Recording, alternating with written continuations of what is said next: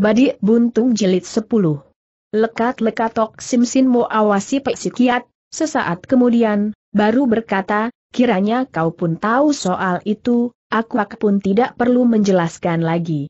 Ketahuilah ku panggil kau tujuanku justru supaya menghadapi dia. Sekarang tentu dia sedang giat memperdalam ilmu Hian Tian Mokip untuk menghadapi aku. Kalau kau tinggal di sini pasti dapat mencarinya, bukankah malah meringankan bebanmu? Tidak, aku tidak sudi melakukan kejahatan lagi. Malah aku sudah menyesal akan perbuatanku yang penuh noda dulu. Terpancang pandangan heran dari biji metu, Tok Sim Mo, sesaat kemudian ia bergelak tawa serunya, kau sudah menyesal. Kenapa kau harus menyesal? Apa tidak terlambat kau menyesal sekarang? kata Peksikiat menghela napas, bila kau anggap antara kau dan aku masih punya hubungan persaudaraan, aku harap kau suka menyerahkan Sutou Ciko kepadaku sekarang juga.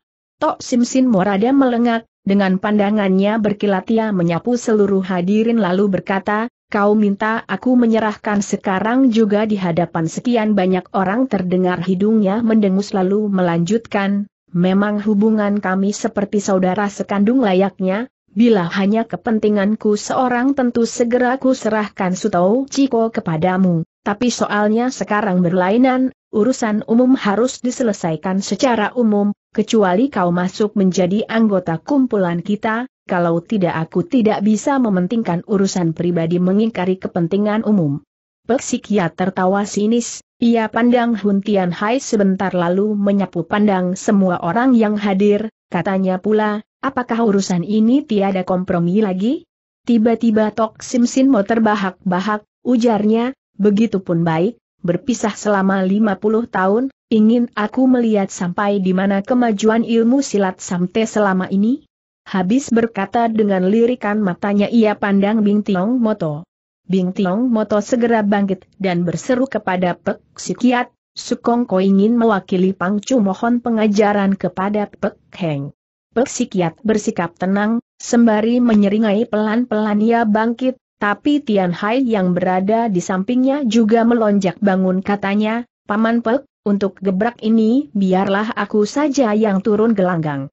Sebentar Pek Sikiat pandang Hun Tian Hai, ia tahu kepandaian dan kemampuan Huntian Hai jauh mencukupi untuk menghadapi musuh, maka dia manggut-manggut lalu mundur dan duduk kembali. Sementara Tok Sim Sin Mo malah pandang Huntian Hai dan Pek Sikiat bergantian dengan perasaan aneh dan heran. Adalah Bing, Tiong Moto yang berjingkrak gusar, serunya, selamanya Sukongko belum pernah lihat ada orang berani kurang ajar memandang rendah diriku. Hun Tian Hai mandah tersenyum manis, ujarnya, aku bernama Hun Tian Hai, tidak lebih sebagai wampual, angkatan muda lalu ia memutar menghadap Pitok Sim Sin Mo katanya pula, bila Sukongko dapat ku kalahkan, apakah Fepang Curla menyerahkan Sutou Ciko kepada kami? Hati Tok Sim Sin Mo rada was-was, biji matanya berjelilatan, katanya, jadi maksudmu kau ingin main taruhan dalam pertandingan babak pertama ini? Hun Tian Hai Mandah tersenyum saja tanpa bersuara. Kata Tok Sim Sin Mo lagi, apa yang kau taruhkan dalam pertandingan ini? Baru saja Tian Hai mau buka mulut dari belakang Pek sudah keburu bicara, bila dia kalah, kami berdua suka masuk menjadi anggota. Kau dengar, kami akan bekerja demi kepentinganmu. Bagus teriak Tok Sim Sin Mo menepuk paha.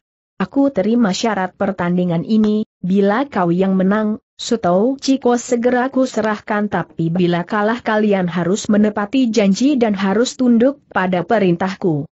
Bing Tiong Mo, To Sukongko beranggapan kepandaiannya cukup lihai dan berkedudukan tinggi pula, kecuali beberapa tokoh silat kosen zaman ini yang ditakuti hanya beberapa orang saja ia tidak pernah tunduk pada siapa pun juga, sekarang justru harus berhadapan dengan Huntian Hai yang dia anggap masih pupuk bawang, keruan hatinya murka sekali.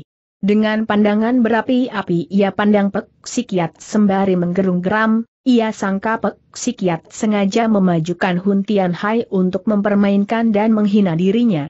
Bahwasanya ia tidak pandang Huntian Hai sebelah matanya. Sambil menyungging senyum lebar pelan-pelan Hun Tian Hai beranjak masuk gelanggang, sikapnya tenang tanpa gentar.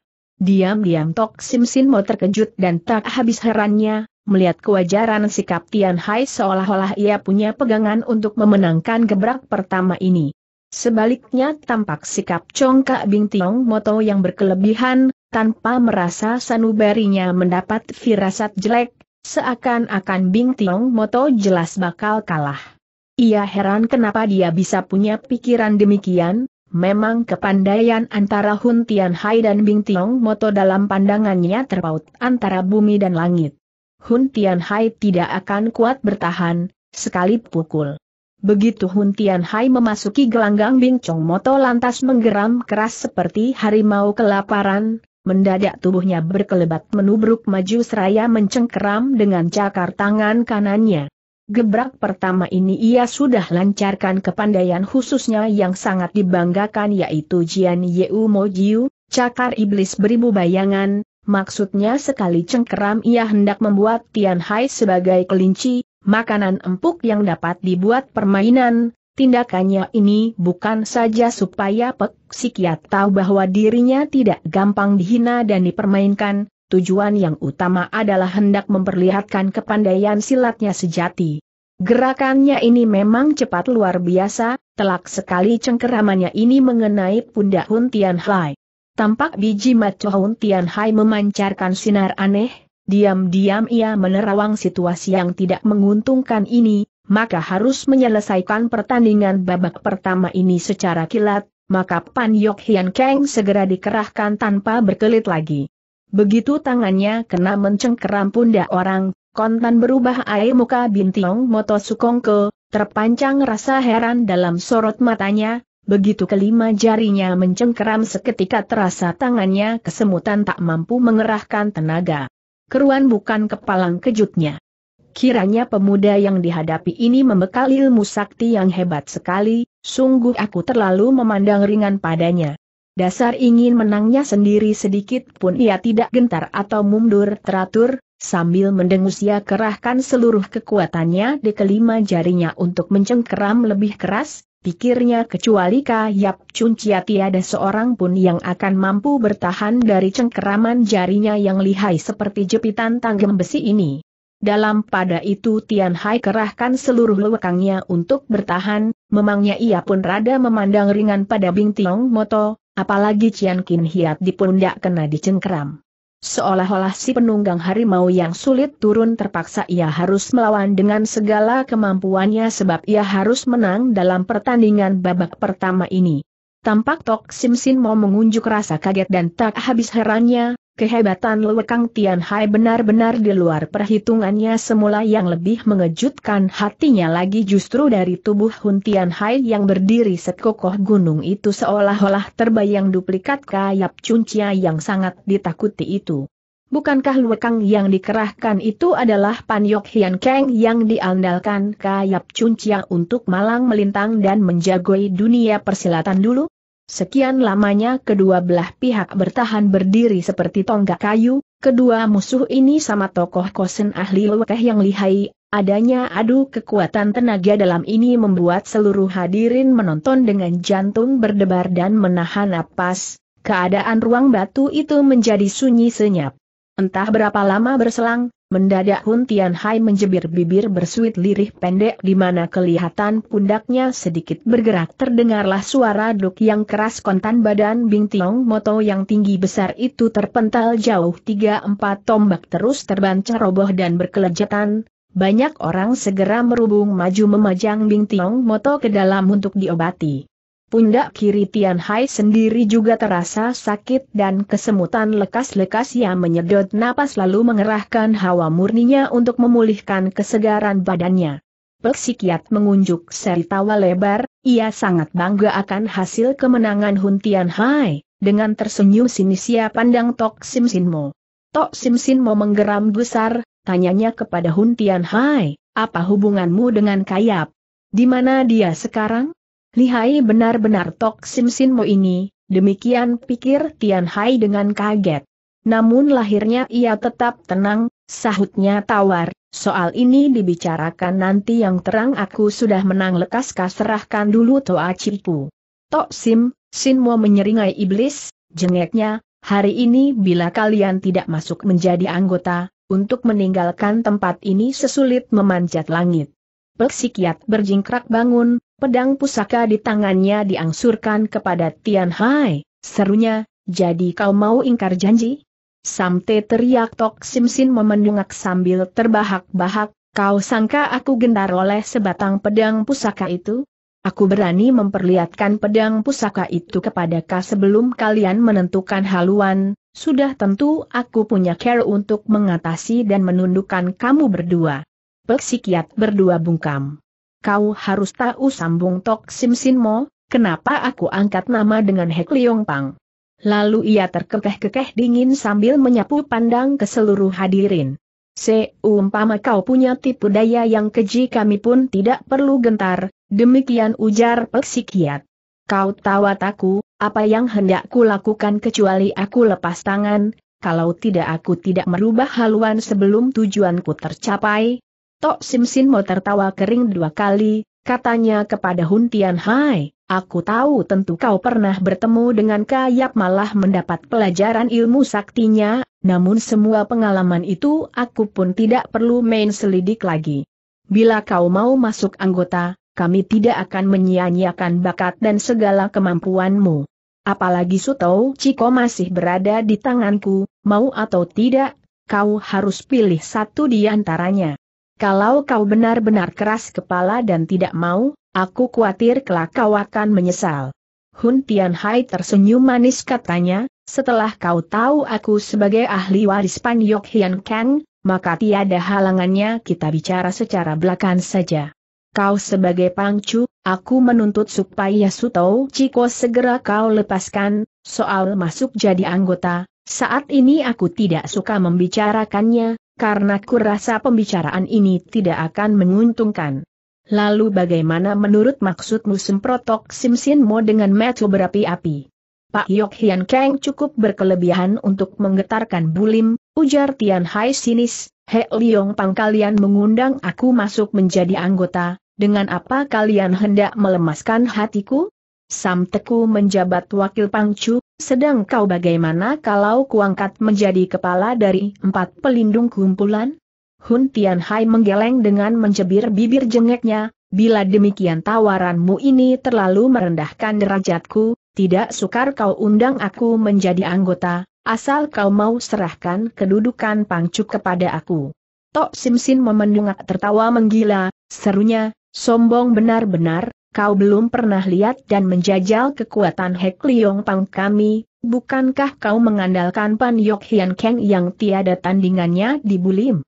Akan ku pertunjukkan kepada kalian betapa hebat dan lihainya, Pek Tok Kek Liong Ting, paku naga hitam beratus racun, lalu ia ulapkan sebelah tangannya empat orang berpakaian seragam hitam segera muncul, tangan masing-masing membawa selaras besi hitam, langsung diarahkan kepada mereka berdua.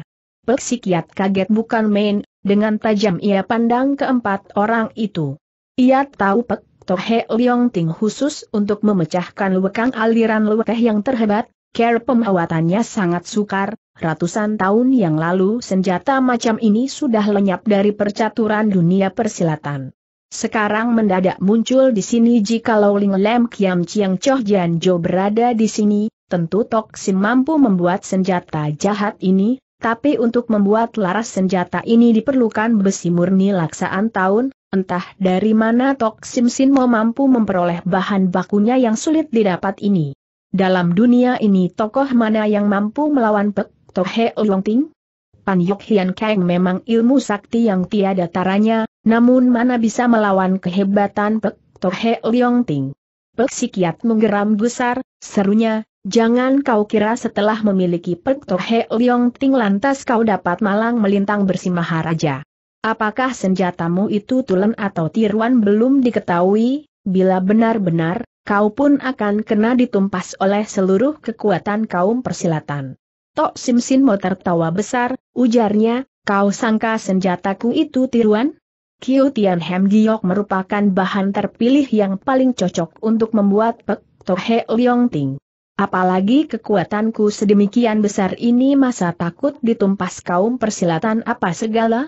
Hun Tian Hai berpikir sebentar lalu menyela bicara, dalam kehidupan di dunia ini terdapat dua unsur positif dan negatif yang saling berlawanan. Kau sangka He Leong Tingmu ini tiada benda lain yang dapat mengatasinya? Kau hendak mencari tahu. Sayang tiada suatu benda apa pun yang dapat mengatasinya. Dalam tempo sesulutan batang hio ku berikan kesempatan pada kalian untuk berpikir memberikan keputusan kalian, dari samping sana seorang menyulut hio lalu ditancapkan di atas meja. Tian Hei harus berpikir secara cermat mencari jalan untuk mengatasi situasi yang gawat ini, namun sesaat lamanya ia tidak memperoleh jalan keluar untuk menghadapi Tok Sim Sinmo. Sementara Pek Sikiat sendiri pejamkan mata, tanpa berkata-kata, ia mengandal kecerdikan otak Tian Hai, entah punya care apa yang sempurna, buat dia sendiri tiada punya pegangan. Tak lama kemudian batang hiu itu sudah terbakar separoh, Tian Hai lantas buka suara kepada Tok Sim Sin Mo, apakah benar-benar Hek Leong Ting kalian bisa memecahkan segala luwekang? Aku belum tahu, dengan care ancamanmu ini kau hendak menarik kami menjadi anggota, kukira kalian bertindak kurang bijaksana. Jadi maksudmu kau ingin tahu kekuatan Hek Leong Ting ini lebih dulu begitulah maksudku. Peksikiat membuka mata, dia heran kenapa Tian Hai begitu gegabah, masa Hek Hang Ting dianggap barang mainan yang boleh dicoba apa segala, seumpama pedang pusaka atau senjata tajam lainnya juga tiada kemungkinan mematahkannya. Begitupun baik, seru Tok Sim Sin terloroh-loroh, aku sendiri juga belum tahu apakah Hek Leong Ting dapat memecahkan Pan Yok Hian Kang, melalui percobaan ini ingin aku saksikan ilmu saktimu yang hebat itu, terlebih penting akan ku ketahui betapa lihai He Leong Ting milik kita ini. Tapi care bagaimana mencobanya? Gampang saja. He Leong Ting seluruhnya ada tujuh batang, ku suruh keempat orang itu bergantian menyerang kepadamu, kau boleh melawan dengan Pan Yok Hian Kangmu. Care ini tidak bisa dilaksanakan dengus pek sikiat. Dia tahu akan kelicikan pihak lawan, bila Tian Hai benar-benar tak kuasa bertahan, bukankah bakal menjadi korban secara konyol? Kenapa? Kalau tidak begitu care bagaimana pula? Hun Tian Hai tertawa tawar, ujarnya, Paman Pek, care ini memang cukup baik, kau tidak perlu khawatir padaku. Dengan sorot heran dan tak mengerti Tok Sim Sin memandang wajah Tian Hai, Hun Tian Hai berani mempertaruhkan jiwanya untuk percobaan yang berbahaya ini. Bagi perhitungan Hun Tian Hai bila dia berhasil memunahkan serangan Kek Leong Ting lawan, Jali Tok Sim Mo tentu ciut dan gentar menghadapi dirinya, serta menyerahkan Sutou Ciko. Seumpama dirinya yang kalah, dirinya tidak akan hidup lama lagi, maka sasaran utama bagi musuh adalah dirinya, meski harus saja di bawah paku naga hitam yang jahat ini, Betapapun Pek harus berkesempatan meloloskan diri dari sarang iblis ini. Tok Sim Sin mau menggeram, dalam hati ia mencemooh, anak muda, kau terlalu congkak. Bahwasanya ia tahu bahwa Hun Tian Hai tidak akan mampu melawan He Leong Ting, namun betapapun ia tidak mau kehilangan kesempatan paling baik yang sukar dicari ini.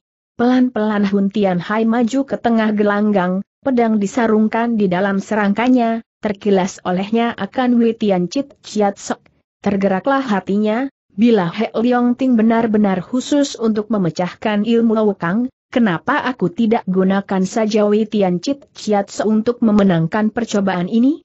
Seumpama gagal juga tidak menjadi soal, apalagi Witian Chit Chiat Sok merupakan ilmu pedang dari aliran Luwekeh yang tiada taranya, apakah benar-benar tidak mampu bertahan dari serangan Pak Tohe Ting? Melihat Tian Hai menunduk memandangi pedang di tangannya, seperti sedang memikirkan apa-apa, Tok Sim Sin mau mengejek dingin, kau menggunakan pedang juga boleh, tapi ku khawatir He Leong Ting tidak semudah itu dapat ditangkis atau dilawan. Dengan tangannya Tian Hai obat-abitkan pedangnya sambil tertawa tawar tanpa bersuara. Kau sudah siap belum tanya Tok Sim Sin Mo? Hun Tian Hai angkat kepala, dengan pandangannya yang tajam ia awasi seluruh hadirin, lalu manggut pelan-pelan. Tok Sim Sin menyeringai iblis seperti serigala yang kelaparan bakal menggares mangsanya, biji matanya berkilat mengandung hawa membunuh. Dalam engannya, Hun Tian Hai segera bakal mati konyol di hadapannya. Pelan-pelan ia sedikit angkat tangannya, salah seorang seragam hitam yang berdiri paling kanan segera angkat longsong besinya serta memijatnya, keret setabur sinar hitam kontan melesat keluar, seluruhnya menerjang ke depan dada Huntian Hai. Sejak menelan buah ajaib jasmani Huntian Hai luar biasa melebihi orang jasa maka ia menjadi terkejut waktu melihat Pek Tohe Leong Ting melesat mengarah dirinya. Dalam sekilas pandang saja ia melihat jelas formasi ketujuh He Leong Ting yang menerjang datang ini begitu sempurna dan lihai benar-benar, yang membuatnya terkejut adalah formasinya yang mengincai berbagai tempat, mungkin tiada seorang tokoh kosen dari Bulim yang mampu terhindar dari incaran He Leong Ting yang ganas ini. Seumpama situ apelita yang mengagulkan ilmu Gin Kang yang tiada keduanya di jagat ini juga takkan mampu menyelamatkan diri. Sementara itu laksana kilat ketujuh paku naga hitam itu, sudah meluncur tiba, tiada tempo lagi bagi Huntian Hai untuk berpikir lekas-lekas ia angkat tangan kiri menepuk ke depan, ia kerahkan Pan Yok Hian Kang menyongsong kedatangan ketujuh He Leong Ting itu dengan pukulannya.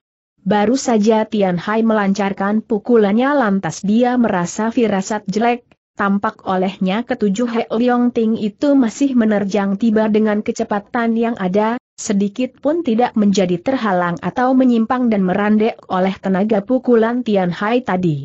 Sebat sekali Tian Hai menggeser mundur seraya mengayun tangan, tahu-tahu pedang pusaka sudah berada di tangannya terus membalik ke depan, dengan jurus gelombang perak mengalun berderai salah satu jurus dari Gin Ho Sam seia tangkis ke depan, cahaya pedangnya yang gemerlap segera mengurung luncuran senjata rahasia musuh. Ketujuh paku naga hitam itu seperti terhenti sekilas di tengah udara, namun lantas meluncur maju lagi dengan kekuatan yang sama. Apa boleh buat terpaksa Tian Hai lancarkan Witian Chit Chiat dengan tujuan mencoba-coba.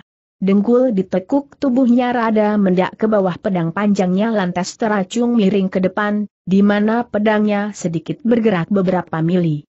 Saja, gerak pedang yang hanya beberapa mili ini sulit diikuti oleh pandangan mata. Ia sudah kerahkan seluruh lekangnya seketika hawa pedang mengembang memenuhi udara sekitar gelanggang, benar-benar juga usahanya ternyata berhasil, ketujuh paku naga hitam beracun itu kena terhalang. Keruan girang hati Tian Hai, dengan kekuatan hawa pedangnya ia bermaksud menghancur leburkan semua paku beracun itu, namun begitu pedangnya berputar terdengarlah suara terang-tering yang ramai, terasa olehnya bahwa ketujuh paku itu adalah sedemikian keras pedangnya tak berhasil mematahkannya. Sudah tentu kejut sekali hatinya, Sembari bersuit nyaring cepat ia putar pedangnya pula menyapu jatuh ketujuh He Leong Ting itu tercerai berai di atas lantai. Tok Sim mau kaget bukan main, tanpa kuasa ia melonjak bangun seraya berteriak, itulah Witian Chit Chiat Se. Waktu pertama melihat Huntian Hai tidak berhasil melumpuhkan luncuran paku naga hitam musuh, berubah air muka Pek Sikiat.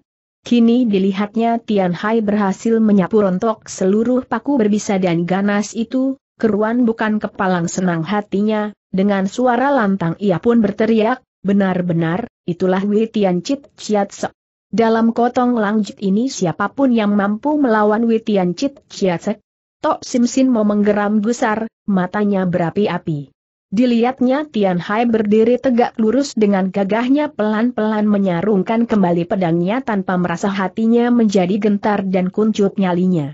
Sekali sapu Tian Hai dapat menyampok keruntuh senjata rahasia yang paling dibanggakan ini mungkin Witian Chit Chiat benar-benar sudah sempurna dilatihnya, betapapun dirinya bukan tandingannya, bagaimana tindakan selanjutnya.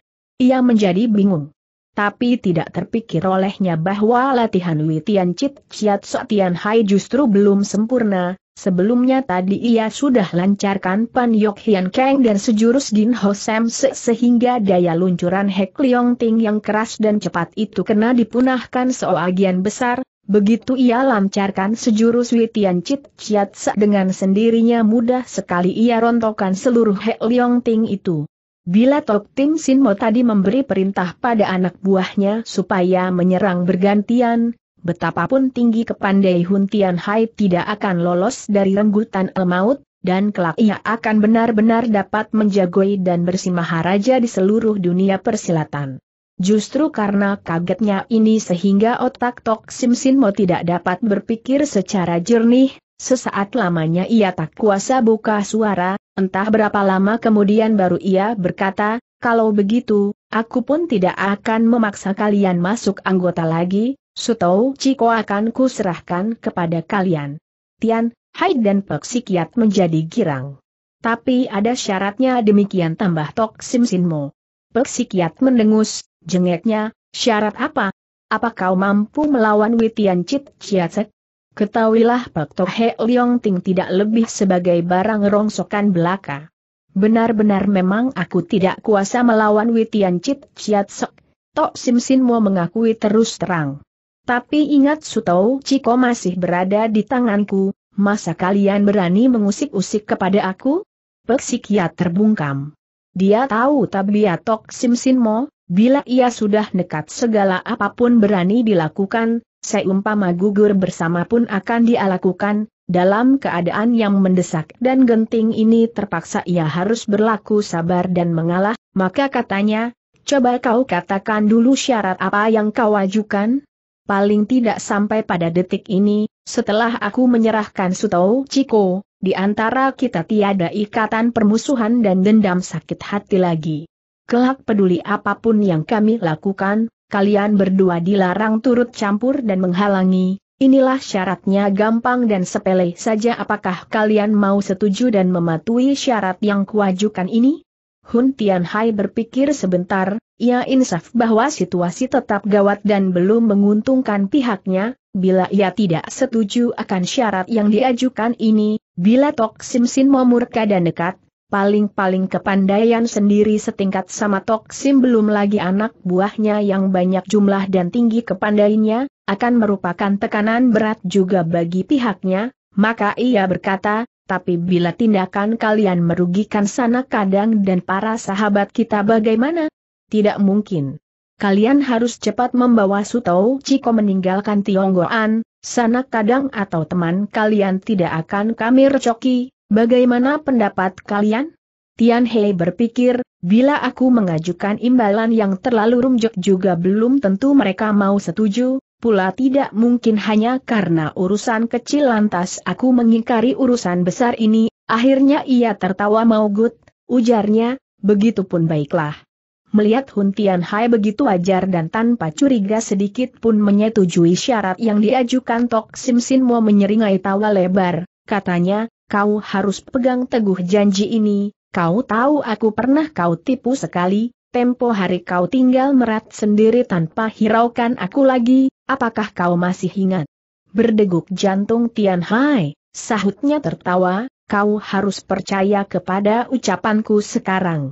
Tok Sim Sin mau tertawa aneh, katanya, segera kuantar Sutou Ciko keluar gua, sekarang kalian boleh keluar dan tunggu di luar, habis berkata ia melangkah ke ruang sebelah dan menghilang.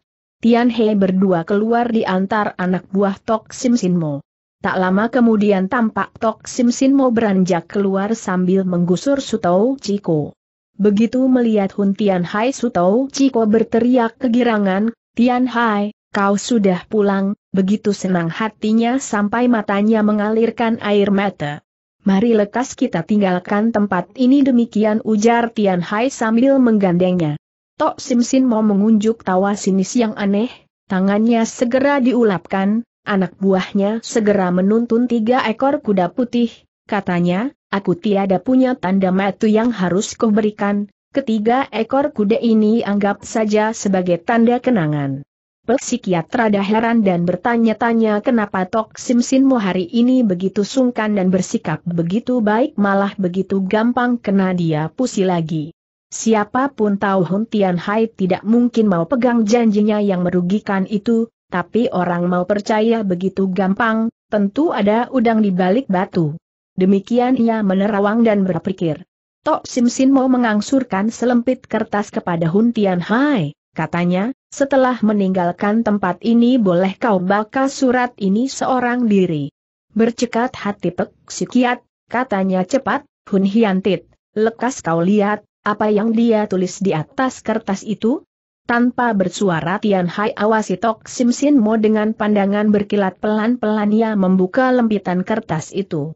Terdengar Tok Sim Sin Mo tertawa dingin, mendadak tubuhnya berkelebat menghilang ke dalam gua.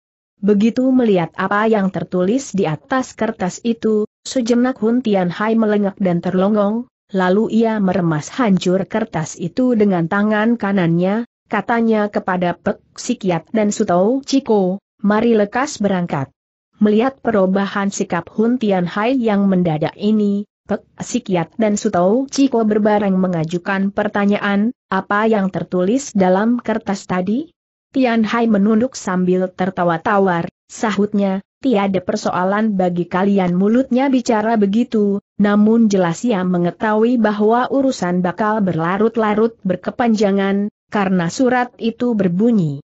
Sutou Ciko sudah menelan pek tokoan, pil 105 bisa, setiap tahun pada pertengahan musim rontok, datanglah mengambil obat penawarnya. Hun Tian Hai punya perhitungan, bila sekarang dia bersikap keras dan bermusuhan menghadapi Tok Sim pihak sendiri terang tidak unggulan, dan pada pihak sendiri yang bakal konyol lebih baik bersabar dan menulur waktu sembari menyempurnakan Witian Cit Chiat Sek sebelum Tok Sim menyadari bahwa latihan Witian Cit Chiat Seknya belum sempurna ia harus cepat-cepat meninggalkan daerah yang penuh ancaman membahaya ini. Maka segera ia keperak kudanya serta berseru kepada mereka berdua, kita keluar dulu dari Giok Bun Koan baru bicara lagi lebih lanjut, dalam bicara ini kudanya sudah dibedal sekencang angin. Terpaksa Sutou, Ciko dan Pek Sikiat mengikuti jejak Tian Hai, mereka pun mencongklang tunggangannya secepat angin pula, debu mengepul tinggi memenuhi angkasa. Sekejap saja mereka sudah pergi jauh dan tidak kelihatan lagi.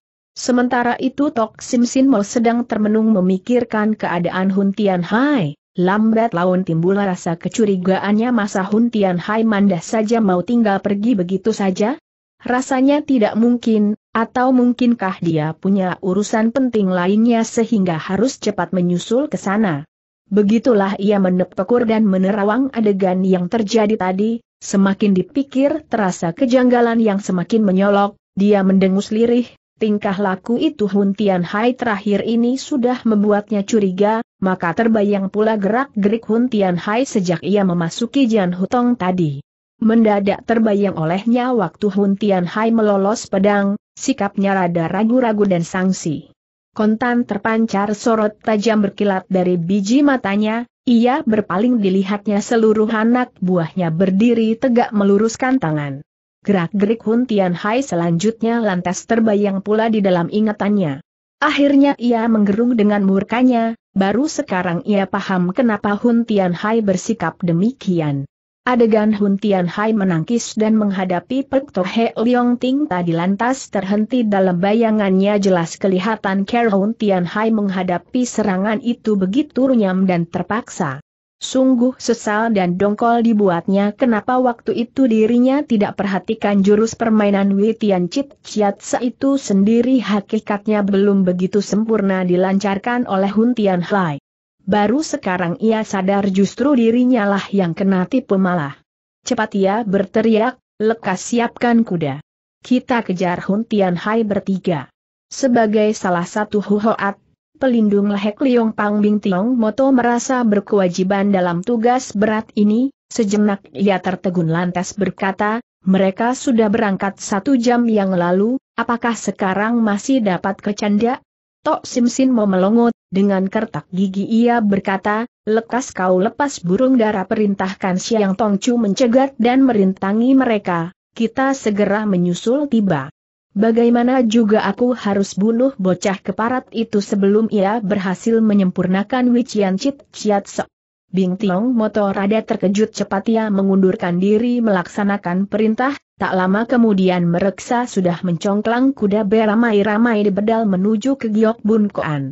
Dalam pada itu Hun Tian Hai bertiga tengah membedal kuda masing-masing cepat-cepat, di tengah jalan ia memperingatkan kepada Pek Sikiat dan Sutou Ciko, Tok Sim Sin mau pasti mengejar datang. Kita harus cepat keluar dari daerah kekuasaannya. Apa yang dia tulis dalam kertas tadi tanya Pek Sikiat. Tidak apa-apa. Tok Sim Sin mau mampu membunuh kami bertiga, kenapa dia tidak akan mengejar? Coba pikir apakah dia bisa menepati janjinya? Sebagai seorang kawakan Kangou, serta mengetahui tabiat Tok Sim Sin Mo, sedikit berpikir lantas Pek Sikiat maklum akan keadaan yang berbahaya ini tahu dia ke mana juntrungan kata-kata Hun Tian Hai. Begitulah tanpa berhenti dan tidak mengenal lelah mereka bertiga membedal tunggangan mereka, selama sehari semalam tanpa berhenti istirahat.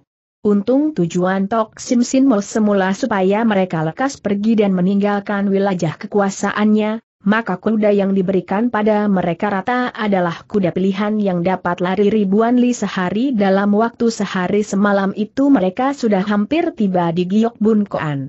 Mereka larikan kudanya berjajar sebelum memasuki Giok Bun Koan jauh di depan sana tampak jejak musuh telah menanti dan mencegat di tengah jalan.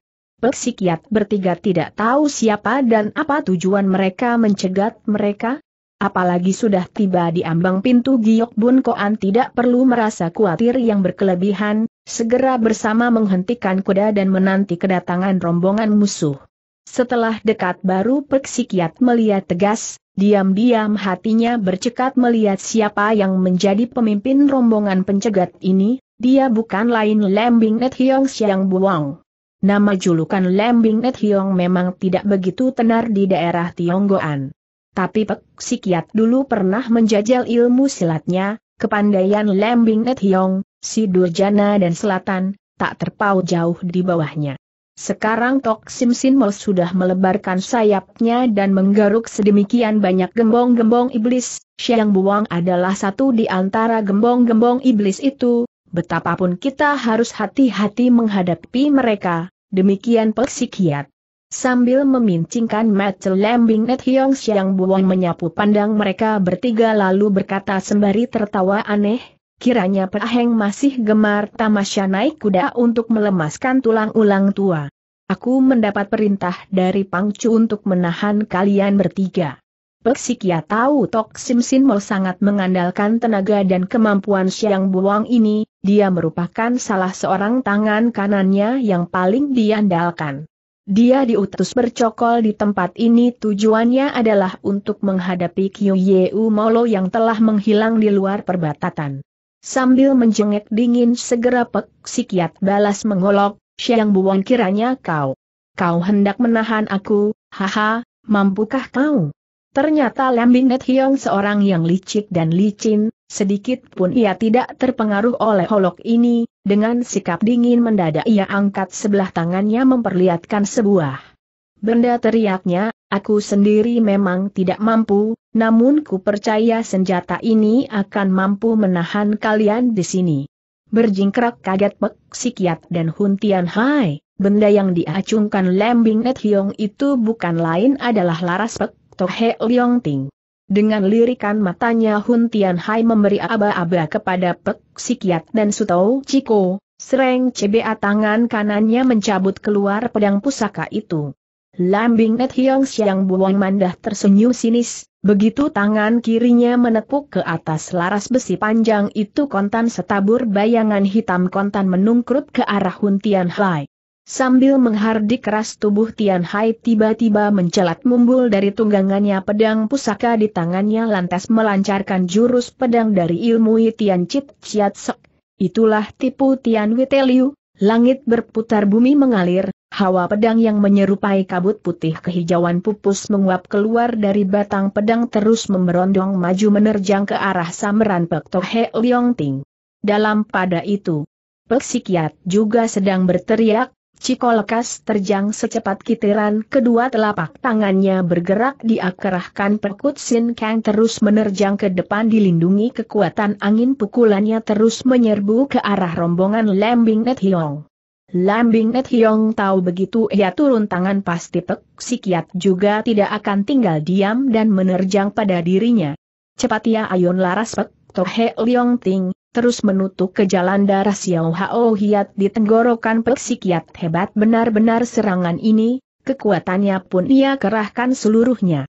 Peksikiat rada kaget menghadapi rangsukan musuh yang lihai, tapi sebagai seorang ahli silat yang waktu mudanya merupakan seorang gembong iblis juga kepandaian Peksikiat sudah tentu tak terukur tingginya, mana ia gentar menghadapi serangan jurus yang lihai ini, tiba-tiba ia menggentakkan kaki, Seketika tubuhnya mencelat tinggi meninggalkan tempat duduknya, berbareng kedua telapak tangannya terpentang ke kanan kiri terus melancarkan ilmu pukulan perkut Mo Chiang yang pernah menggetarkan kalangan Kangou dulu, di mana kedua tangannya bergerak, dengan setaker tenaganya ia balas merangsak kepada Lambing Net Hiong.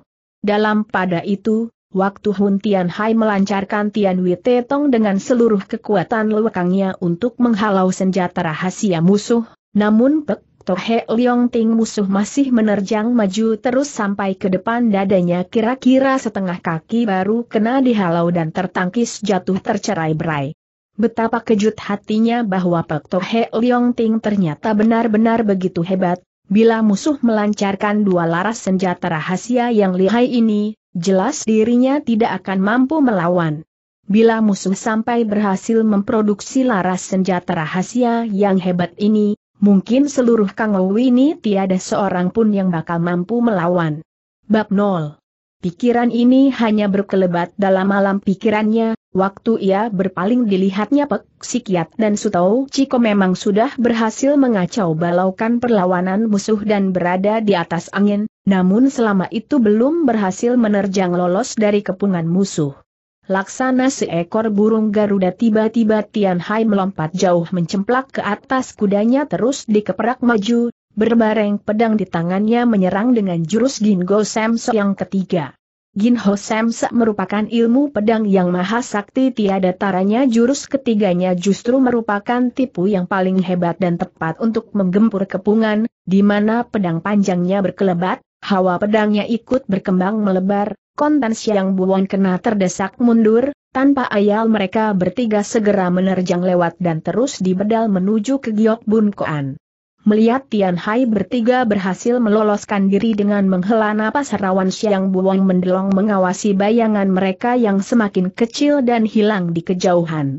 Waktu ia membalik tubuh jauh di arah yang berlawanan sana dilihatnya rombongan Tok Sim Sin Mo tengah mendatangi dengan cepat, sayang kedatangan mereka setindak telah terlambat, Hun Tian Hai bertiga sudah tidak kelihatan lagi bayangannya. Dari jauh Tok Sim Sin Mo sudah melibat bayangan Siang Buang dan anak buahnya, kontan dingin perasaannya, tahu dia bahwa Hun Tian Hai pasti sudah berhasil meloloskan diri, bila mereka sudah keluar dari Giok Bun Koan jelas dirinya tidak mungkin dapat membekuknya kembali. Setelah dekat mereka memperlambat lari kuda, cepat Siang Buang beramai maju memapak serunya memberi lapker, aku sendiri tidak becus, mereka bertiga sudah lolos pergi.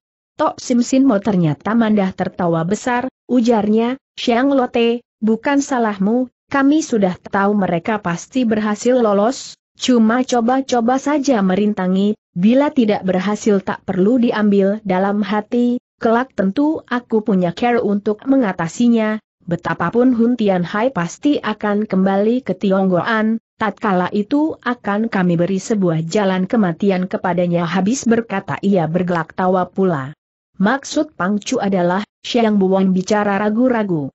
Dengan pandangan dingin Tok Sim Sin Mo menyapu pandang seluruh anak buahnya, ujarnya, Hun Tian Hai tidak lebih seorang bocah angkatan muda, di mana wibawa dan kegagahan kita pada waktu dulu? Masa takut terhadap bocah keroco itu? Aku bersumpah harus membunuhnya lebih dulu sebelum Wi Tian Chit Chiat Sok berhasil ia latih sempurna. Aku harus bunuh dia.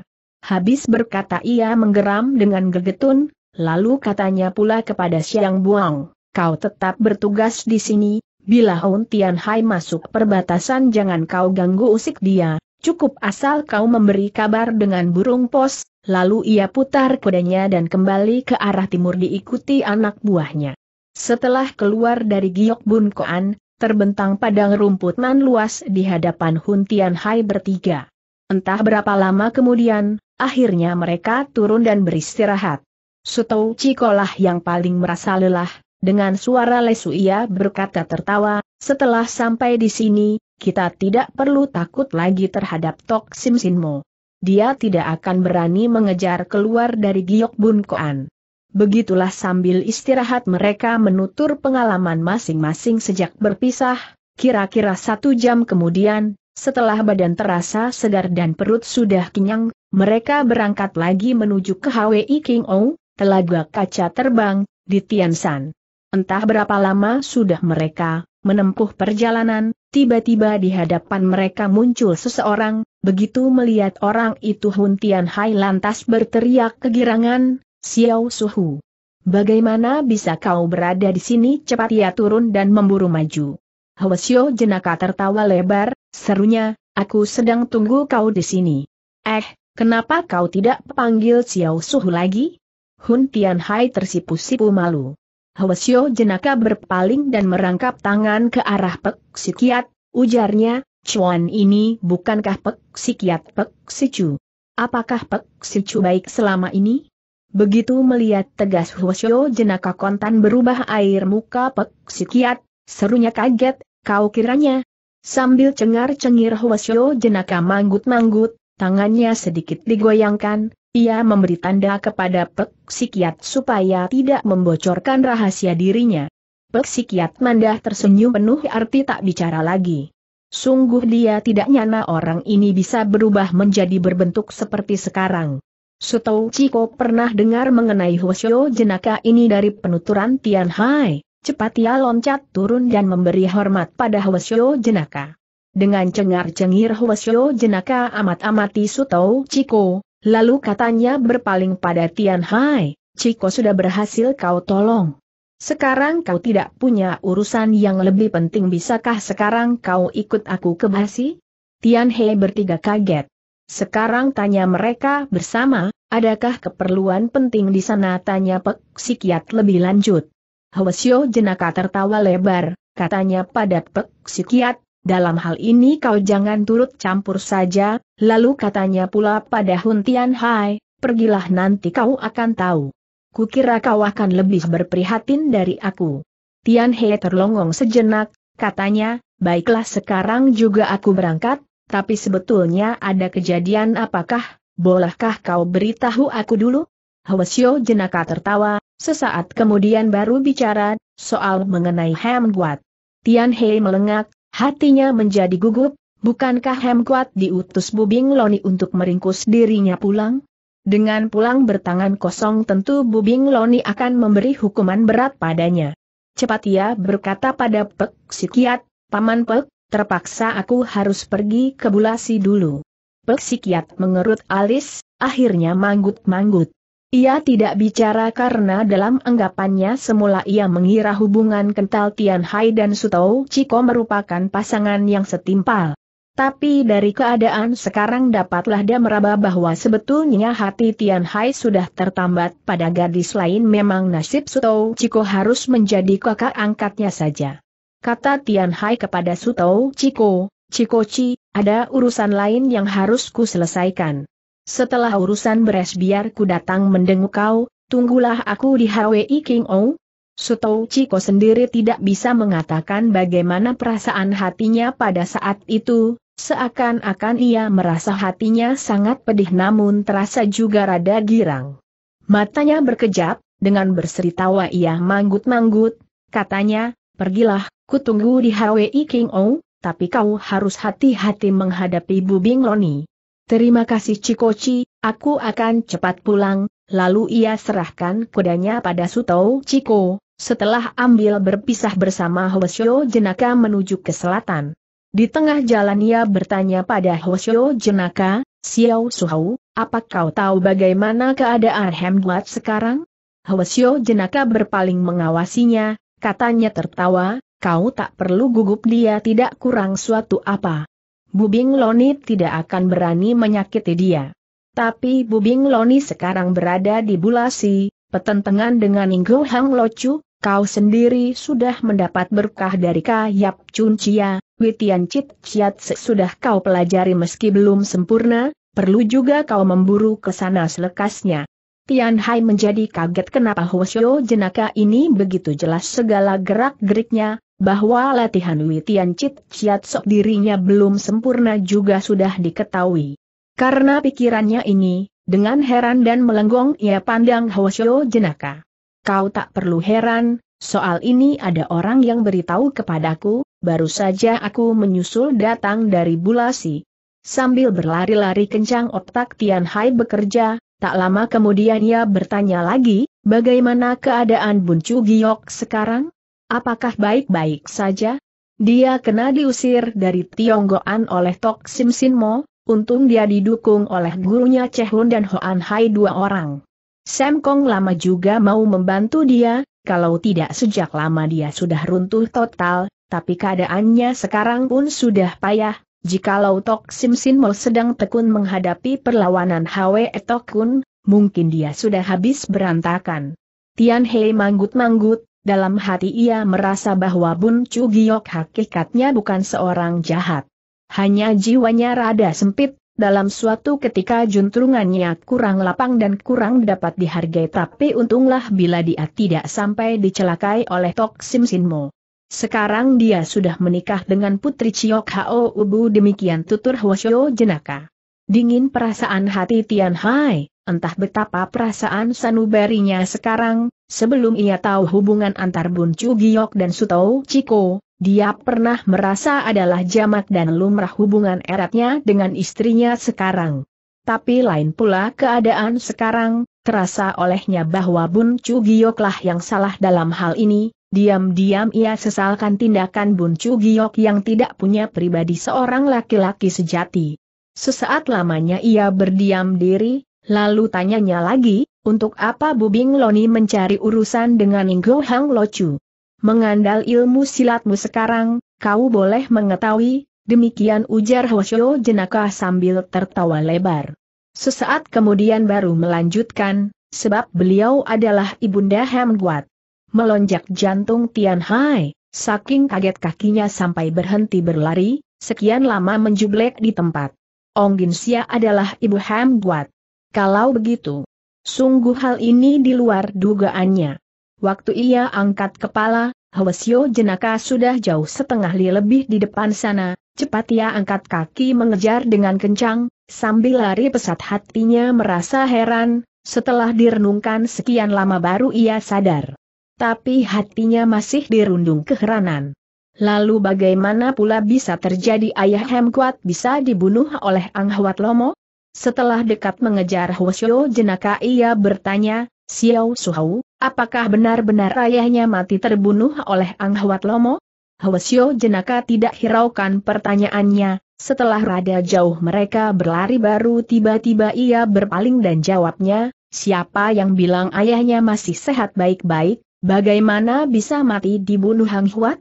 Tian Hai menjadi bingung ia heran kenapa segala kejadian itu begitu ganjil, tidak diketahui olehnya care bagaimana peristiwa macam itu bisa terjadi.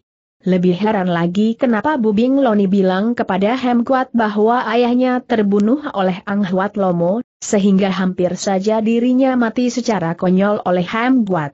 Ujar Fosio Jenaka, jangan kau percaya obrolan Bubing Loni. Semua itu hanyalah bualannya terhadap Hemkuat waktu masih kecil, namun sekarang dia sudah dewasa. Bubing Loni masih mengelabui padanya. Tian Hai menjadi paham sekarang. Tapi entahlah sekarang Ham Duat sudah tahu rahasia ini belum? Terdengar Hwasyo jenaka berkata pula, tapi jangan kau bocorkan rahasia ini kepada siapa pun juga. Kelakuan Bubing Loni selamanya sangat kejam dan telengas, tapi terhadap Ham Kuat ia sangat sayang dan baik.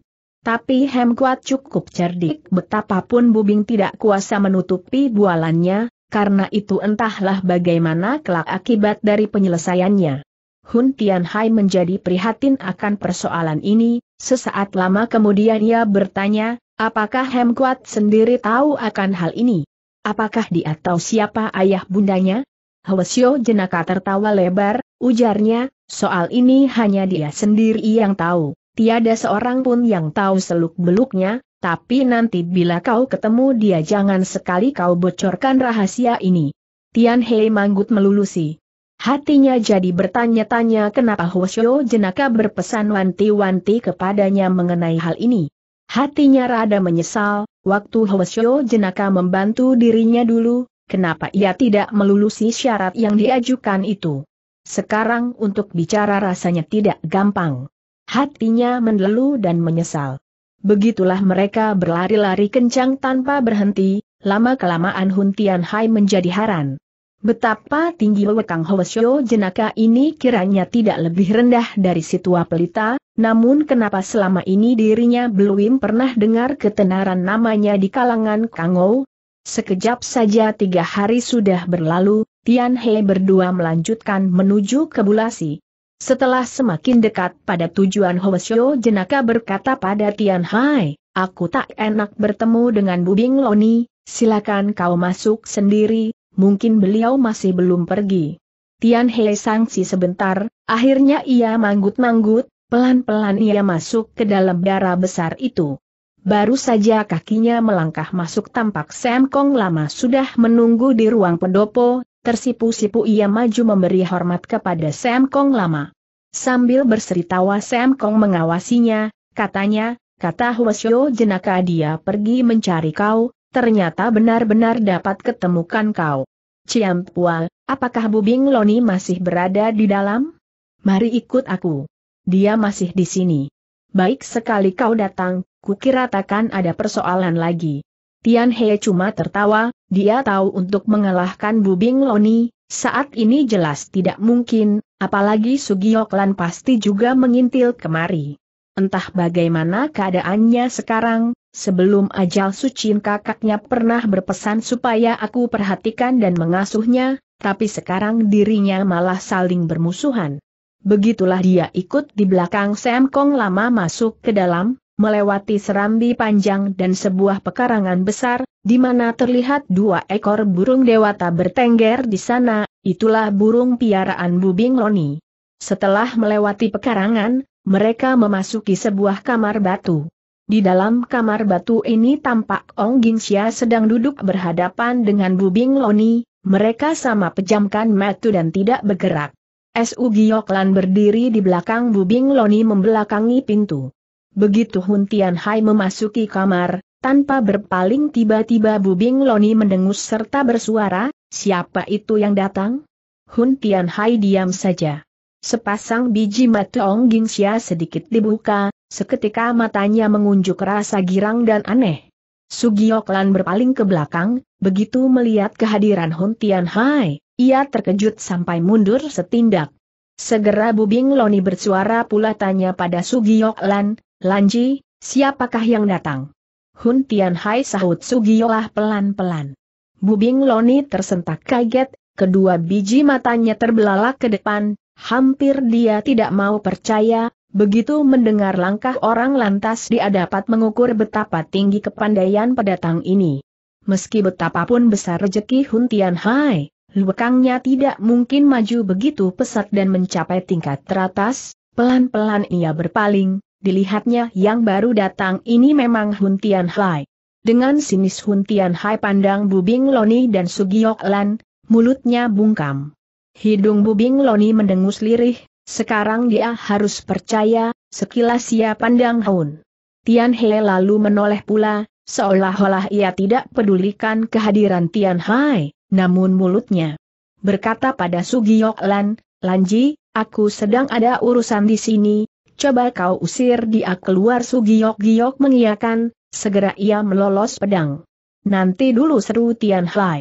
Toaci seru Ong Ging Sia tertawa, kau tak usah repot, akulah yang mengundangnya kemari, bukankah kau hendak mencari dia?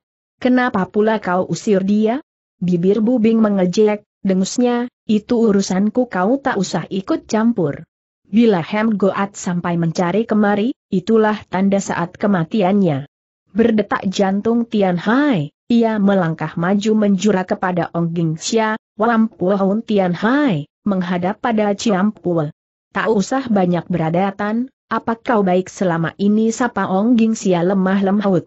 Berkat doa Ciampu segalanya baik, terima kasih akan perhatian ini. Cuma tempo hari bikin. Repot Ciampu saja, waktu bicara ia angkat kepala mengawasi Ong Ging Xia. Perasaannya kali ini jauh berbeda dengan tempo yang lalu, Ong Xia adalah ibunda Hem Guat, dia menjadi risi dan kikuk malah entahlah apa yang harus diperbuat selanjutnya. Bu Bing melirik hina, semprotnya kepada Tian Hai, apa saja yang telah kau ucapkan kepada Hem Guat? Ke mana dia sekarang? Sesaat Hun Tian Hai menjublek, apa dia sudah pergi tanyanya berseri girang. Bu Bing menggeram marah, jengeknya, bila kau mendengar apa dan berani mengadu domba di antara kami, aku tidak akan gampang memberi ampun pada kau. Selama ini ke mana pula kau berada? Hun Tian Hai mandah tertawa tawar, ujarnya, apa yang kau tanyakan aku tidak tahu. Bubing Loni menyeringai sinis, katanya, baik mungkin kau temukan rejeki aneh, ilmu silatmu sekarang sudah tinggi, aku harus membuat perhitungan selama setahun ini padamu. Lalu ia berpaling ke arah Sugiok Lan dan berkata pula, Lanji, belakangan ini bagaimana latihan Hui Sim Kiam Hoatmu? Sugiok Lan bersangsi sejenak, sahutnya, murid sendiri kurang jelas, paling tidak dapat mencapai taraf yang ditentukan oleh suhu. Itu pun sudah cukup, ujar Bubing mendengus, gunakanlah huntian hai untuk mencoba latihan ilmu pedangmu. Sugiok Lan mengiyakan dan patuh.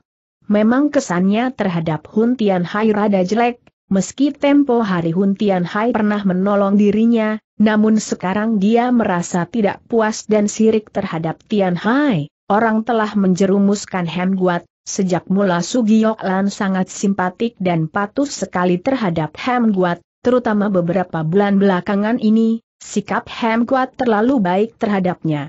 Sekarang Hem Guat telah lari mengkhianati gurunya, Sebab musababnya adalah karena Huntian Haya itu karena Hemkuat telah melepasnya pula itu berarti dia membangkang terhadap perintah gurunya. Sugiok Lan melangkah maju sambil menenteng pedang. Nona Su, kata Huntian Hai tertawa, apakah harus bergebrak dengan aku jangun cerewet? Pelan-pelan Huntian Hai melolos Hwi Hang Xiao dari pinggangnya, ujarnya, kalau begitu harap Nona Su memberi petunjuk. Tanpa ayal pedang Sugiok Lan lantas terangkat dan mulai menyerang, beberapa bulan terakhir ini ia rajin dan tekun melatih Hui Sim Kiam Hoat. Hui Sim Kiam Hoat merupakan ilmu pedang dari aliran luwekeh yang tertinggi dan sangat menakjubkan. Begitu Sugiok Lan menggerakkan pedang sejurus permainannya saja lantas terlihat sinar pedangnya berkelebat memutih laksana lembayung menggulung ke arah Huntian Hai. Biji Mechohun Tian Hai berputar mengikuti sambaran sinar pedang, mulutnya menyungging senyum manis, sebat sekali ia angkat serulingnya, dengan mengembangkan Gim Ho Sam seia melawan serangan musuh, pancaran cahaya merah dadu dari seruling di tangannya berkembang melebar seperti kabut merah, melindungi badannya, sinar pedang Sugiok Lan berubah berkuntum, mengembang keempat penjuru merangsak dari berbagai jurusan, sedemikian gencar serangan pedangnya, namun sedemikian jauh ia tidak mampu mendesak maju setengah undak pun. Begitulah setengah jam sudah lewat, yang satu menyerang dengan bernafsu yang lain bertahan dengan rapat dan kuat, Hun Jan Hai cukup menggunakan jurus gelombang perak mengalun berderai dari Gin Ho Sam seajaran Soat San Sugeo, seluruh rangsakan pedang Sugio Lan berhasil dihalau di tengah jalan. Menyaksikan pertempuran ini, Lama-kelamaan bercekat hati Bubing Loni, mengandal kepandaian Tian Hai yang tinggi sekarang, jangan kata Sugiok Lan bukan tandingannya, seumpama dirinya sendiri yang maju juga belum tentu pasti bisa menang dalam waktu singkat secara gampang. Beberapa jurus lagi, segera ia berseru, Lanji, kau mundurlah. Sugiok Lan menarik pedang mundur beberapa langkah, hatinya pun dirundung keheranan, Kepandaian silat Huntian Hai kiranya sudah maju begitu cepat berlipat ganda, sungguh sukar dipercaya kalau tidak menyaksikan dan membuktikan sendiri. di samping heran hatinya pun menjadi dengki, betapapun ilmu silat Hun Tian Hai selalu lebih maju lebih tinggi dari kemampuannya, sanubarinya yang paling dalam diam-diam merasa sirik karena akhir ini ia beranggapan setelah pelajaran ilmu pedangnya maju pesat, kecuali Bubing Loni dan Hemduat dua orang, seluruh kolong langit ini tiada orang ketiga yang dapat mengalahkan dirinya. Sambil tersenyum Hun Tian Hai pun mundur sambil menyimpan serulingnya, sekilas tampak olehnya rasa kurang puas dari pancaran mata Sugiyok Lan, terlihat pula rasa penasaran dan hawa pembunuh dari sorot mata Bubing Loni. Kata Bubing Loni kepada Hun Tian Hai, selama ini ke mana saja kau pergi? Ong Xia malah yang menjawab pertanyaannya ini, ketahuilah dia adalah murid angkat Kayap Cuncia. Kontan berubah hebat air muka Bubing Loni selama hidupnya ini, Otaknya terlalu berangan bahwa dirinya tiada tandingannya di seluruh Drong Langjat konon bahwa Kayap jauh lebih kuat dari dirinya, namun sudah sekian lamanya menghilang dari percaturan dunia persilatan. Siapanya nah sekarang Hun Jan Hai diangkat menjadi murid angkat Kayap Cuncia. Dari kepandaian Tian Hai yang begitu hebat dan tinggi ini dapatlah diukur sampai di mana tingkat kepandaian Kayap Cuncia. Bu Bing terlongong sesaat lamanya, Akhirnya sambil bangkit ia tertawa dingin, kalau begitu, ku tantang kau tiga hari lagi bertemu di Yanbun Koan, kau tidak datang, aku pun bisa temukan kau di mana saja kau berada, selesai bicara sekilas ia pandang Ong Xia, tampak mulut orang sudah bergerak, namun urung bicara.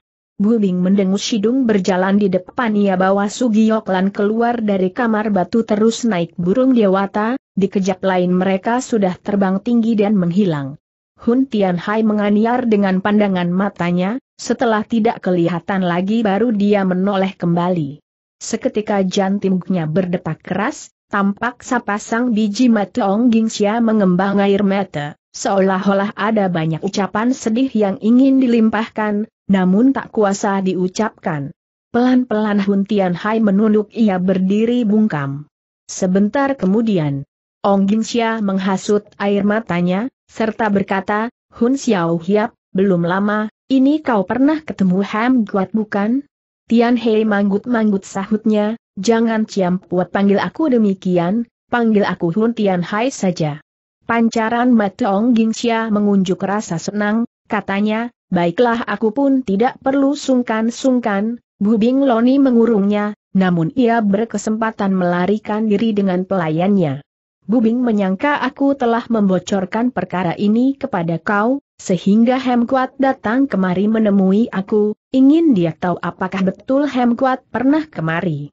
Tian Hei manggut-manggut lagi tanpa bersuara, dia pun tengah heran, sebetulnya ke manakah Hem Kuat telah pergi? Kata Ong Ging Sia pula setelah menghela napas, kukira Hwasyo Jenaka sudah memberitahu pada kau bahwa Hem Kuat sebetulnya adalah putriku. Waktu kau ketemu dia tempo hari bagaimana keadaannya? Tian He tersenyum, sahutnya, dia baik sekali, dia, ia menjadi kememek tak tahu apa yang harus dia ucapkan. Bagaimana kesanmu terhadapnya? Tanya Ong Ging Sia tersenyum. Merah dan panas muka Tian Hai, ia menunduk malu sesaat baru menjawab, dia seorang baik, pintar, dan tidak congkak malah, sampai di sini ia merandek dan tertawa geli sendiri, tak melanjutkan kata-katanya. Benar-benarkah begitu seru Ong Sia kegirangan? Meski ini menurut ucapanku saja namun aku bicara setulus hati, aku percaya siapa pun bila kenal dan bergaul dengan dia lantas akan merasakan hal-hal itu. Ong Sia menunduk, Otaknya termenung mengenang kembali masa 20 tahun yang lalu sampai sekarang berarti 20 tahun sudah ia tidak pernah bertemu dengan Hemduat putri tunggalnya sendiri yang sudah dewasa dan tumbuh menjadi seorang gadis remaja yang cantik rupawan. Sungguh ingin sekali ia bertemu, tapi aku, mukaku seburuk ini, seumpama ketemu Hemduat, hanya membuat hatinya seram belaka, Terpikir sampai di sini ia menghela napas dengan rawan dan murung. Suasana menjadi sepi sekian lama, akhirnya Tian Hai membuka suara pula, dia cantik sekali, Ciampu ingin bertemu dengan dia? Ong Jing Sia angkat kepala, tanyanya, Dia tahu bahwa aku berada di sini mungkin dia tidak tahu, kita tahu pasti dia sudah memburu kemari. Jangan kau beritahu dia, ku harap dia tidak menemui aku, berhenti sebentar lalu menambahkan, bila kau bisa, setelah bertemu dengan dia, beritahu padaku di mana dia berada, biar aku pergi melihat dia. Ia menunduk sambil menitikan air mata kesedihan. Tian Hai menjublek tak bersuara. Ong Xia menggeleng, katanya, perjanjian tiga hari itu jangan kau layani tantangan bubing kau kerjakan urusanmu yang lain saja, aku, aku tak mampu bantu kau untuk menghadap dia. Hatinya kejam dan telengas yang penting kau harus sempurnakan dulu Tian Cit Ciat lebih dulu. Sementara ini boleh kau menetap di sini saja, bila Bubing meluruk kemari biar aku yang hadapi dia. Tian Hei berpikir, akhirnya ia manggut-manggut sahutnya titik begitu pun baiklah. Ong Xia menunduk, diam-diam hatinya senang, Hun Tian Hai terang menaruh cinta terhadap Hem Kuat ia berpikir lagi lalu berkata angkat kepala, Tian Hai pernahkah terpikir olehmu, ke manakah sebenar-benarnya Hem Kuat telah pergi? Aku juga tidak tahu, tapi pasti ada sasaran tempat bagi tujuannya sehingga dia berani merat. Kupikir waktu masih ada dua hari, selama ini dapat ku sempurnakan pelajaran Witian Chit Chiat Sek. Beberapa hari lagi biar ku mencari jejaknya. Rasa senang Ong Ging Sia terunjuk pada air muka dan sinar matanya, tentu Hun Tian Hai sudah sangat rindu dan kangen betul terhadap Ham Guat, mendapat calon suami seperti Hun Tian Hai. Ham kuat pasti bahagia dan aku pun harus lega dan terhitung sudah menyempurnakan tuntutan hidup putrinya. Melihat reaksi perkataannya mengubah sikap dan air muka Ong Xia, tanpa merasa Tian Hai menjadi tegang sendiri, Ong Xia adalah ibunda Ham Guat, hubungan dirinya dengan Ham Guat belum lagi intim, mana bisa menampilkan rasa hatinya sedemikian rupa, apakah tidak terburu nafsu? entah bagaimana pendapat dan penerimaan Ong Xia. Kalau begitu bikin susah padamu saja, ujar Ong Xia tertawa. Sementara ini kau tinggal saja di bulasi ini.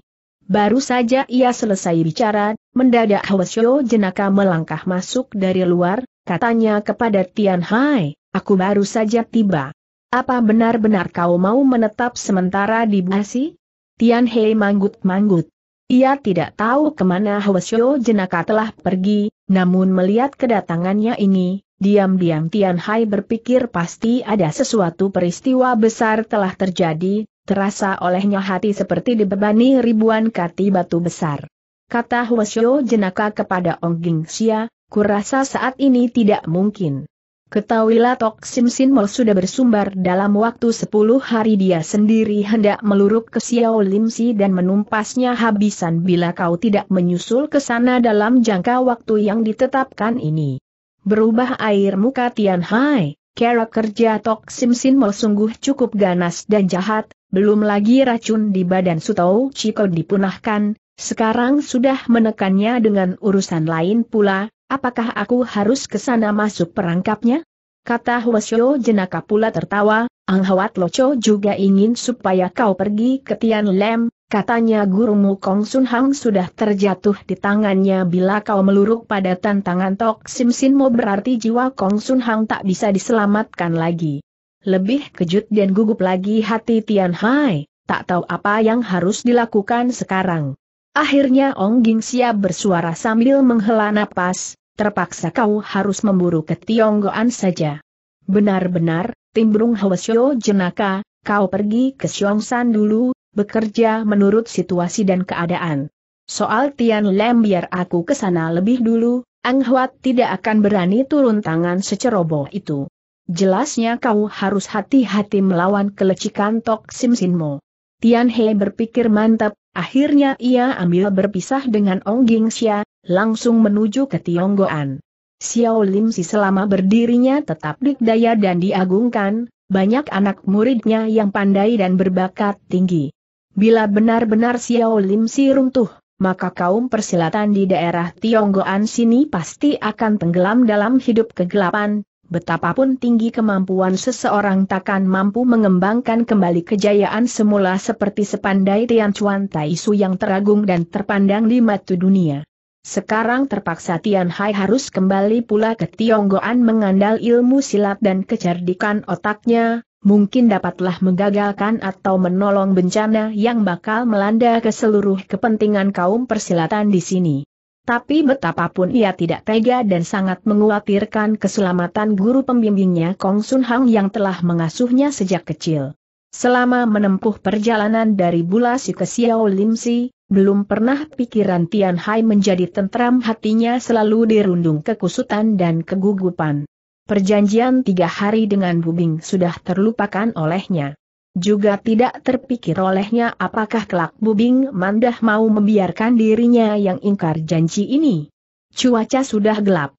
Sebuah bayangan hitam melesat terbang di antara semak-semak pegunungan orang itu bukan lain adalah Huntian Hai adanya. Sekonyong-konyong pekik burung dewata berkumandang di tengah udara. Tian Hai menjadi tersentak kaget dan sadar, hari ini tepat tiba perjanjiannya tiga hari itu. Kenapa aku melupakan perjanjian beradu pedang dengan Bubing Loni?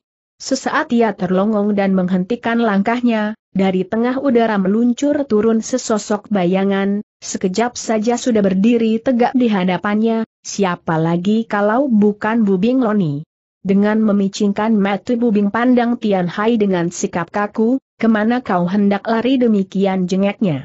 Mulut Tian Hai terbungkam, ia pandang bubing lekat-lekat. Dia tahu sepak terjang bubing selalu dilandasi kemauan hati melulu, dia tidak pernah kenal apa itu keadilan, maka dengan tawar ia menyahut, apakah sekarang saja dimulai bertanding pedang. Melihat sikap Hun Tian Hai yang demikian congkak, Bubing Loni menjadi murka, alisnya terangkat tinggi, serunya, jangan kau kira Pan Yok Hian Kang dan Gin Ho Sam Sekmu dapat menjagoi di seluruh Kang Ou. Hari ini akan kuperkenalkan padamu kepandaian ilmu pedang yang sejati. Tian Hai mundur setengah tindak seraya melolos pedang di punggungnya, kedua biji matanya lekat-lekat menggawasi gerak-gerik Bubing Loni. Pelan dan acuh tak acuh Bubing menanggalkan pedang dari serangkanya, Pelan-pelan ia melolosnya keluar, seenaknya saja ia buang serangka pedangnya ke samping, dengan mengawasi batang pedang mulutnya bicara, seluruh kaum persilatan di dunia ini belum ada seorang pun yang benar-benar pernah melihat Hui Sim Kiam Hoatku seluruhnya. Terutama tiga gerak serangkai dari jurus yang terakhir, sekarang sebelum kau ajal akan ku pertunjukkan kepada kau. Melihat Bubing Loni bicara begitu enak dan enteng saja, seolah-olah tidak pandang sebelah mata dirinya, dingin perasaan Tian Hai. Wi Tian Chit Chiat selatihan dirinya belum lagi sempurna, bila sekarang dia kembangkan untuk melawan Hui Sim Kiem Hoat, bukan saja tidak mampu menandingi tiga rangkai serangan pedang musuh, malah mungkin akan menambah gelora angkara murka hati Bubing Loni untuk melenyapkan dirinya. Karena pikirannya ini tanpa merasa hatinya menjadi lemas. Tapi dendam Mayah belum terbalas, merabahaya sedang mengancam keselamatan hidup kaum persilatan di seluruh Tionggoan, mana boleh aku ayal begitu gampang saja. Pandangan mata bubing dari batang pedang pelan-pelan beralih ke muka Tian Hai. Terasa oleh Tian Hai dalam pandangan mata bubing Lon ini terkandung rasa penghinaan dan merendahkan dirinya yang berkelebihan, agaknya hatinya akan menjadi senang setelah melihat orang lain menjadi mayat. Sontak terbangkit rasa kejantanannya, alisnya tegak berdiri, darah menggelora, dengan pandangan berkilat gelusar ia balas pandang ke arah Bubing Loni. Melihat Huntian Hai tidak mengunjuk rasa gentar atau takut berjengkit alis Bubing Loni, katanya sambil menjengek berjambir, mungkin kau belum tahu care kerjaku. Kau tidak akan bisa segera mati, akan ku sayat dan ku kuliti kulit dan dagingmu sedikit sampai kau mampus. Aku akan bekerja pelan-pelan, mungkin tiga hari atau mungkin sampai setengah bulan baru badanmu habis ku sayati. Hun Tian Hai Mandah menyeringai tawa, ujarnya, kedengarannya memang enak dan nikmat sekali tapi apakah kau mampu? Bubing Loni menggeram gusar sambil membanting kaki, tiba-tiba wajahnya mengunjuk senyum tawa yang sangat aneh, katanya, mungkin aku tidak mampu, tapi mungkin pula bisa bukan. Nanti akan kamu buktikan dan kau akan tahu akibatnya. Melihat senyum aneh di wajah Bubing Loni, Sontak terbit suatu rasa ketakutan dalam sanubari Huntian Hai, selamanya belum pernah ia melihat tertawa aneh Bubing Loni semacam itu. Bukan saja tawanya itu tidak bersahabat, malah sebaliknya terasa adanya hawa kesadisan sedang mengancam setiap waktu di sekelilingnya. Sekilas saja air muka Bubing Loni pulih seperti sedia kala, tanpa ekspresi ia berkata, kau sudah siap belum? Aku akan segera turun tangan awaslah kau. Kaki kanan Huntian Hai mundur setengah langkah pedang siap melintang di depan dada, ia berdiri tegak siap siaga. Laksana awan meganan enteng tubuh Bubing Loni melejit maju ringan tanpa menimbulkan kesyurangin pedangnya terayun, menjojoh ke depan tengah alis Huntian Hai. Sigap sekali dalam waktu yang bersamaan Huntian Ha juga menggerakkan pedangnya dengan jurus gelombang perak mengalun berderai dari ilmu Gin Ho Sam Se untuk memapaki serangan musuh. Begitu jurus permainan kedua belah pihak sedikit kebentur, lantas Huntian Hai rasakan gaya gerak pedang. Bubing Loni yang kelihatan bergerak enteng itu mengandung tekanan tenaga yang luar biasa besarnya menggetar mundurkan tubuhnya, keruan kejutnya bukan kepalang, tak berani menyambut secara kekerasan ia melejit mundur. Terdengar Bubing Loni menjengek dingin pedangnya terbang membalik lagi jurus kedua ini lebih hebat, berbareng dengan samberan batang pedang hawa sekelilingnya seperti menjadi dingin ikut menerpa ke arah Huntian Hai.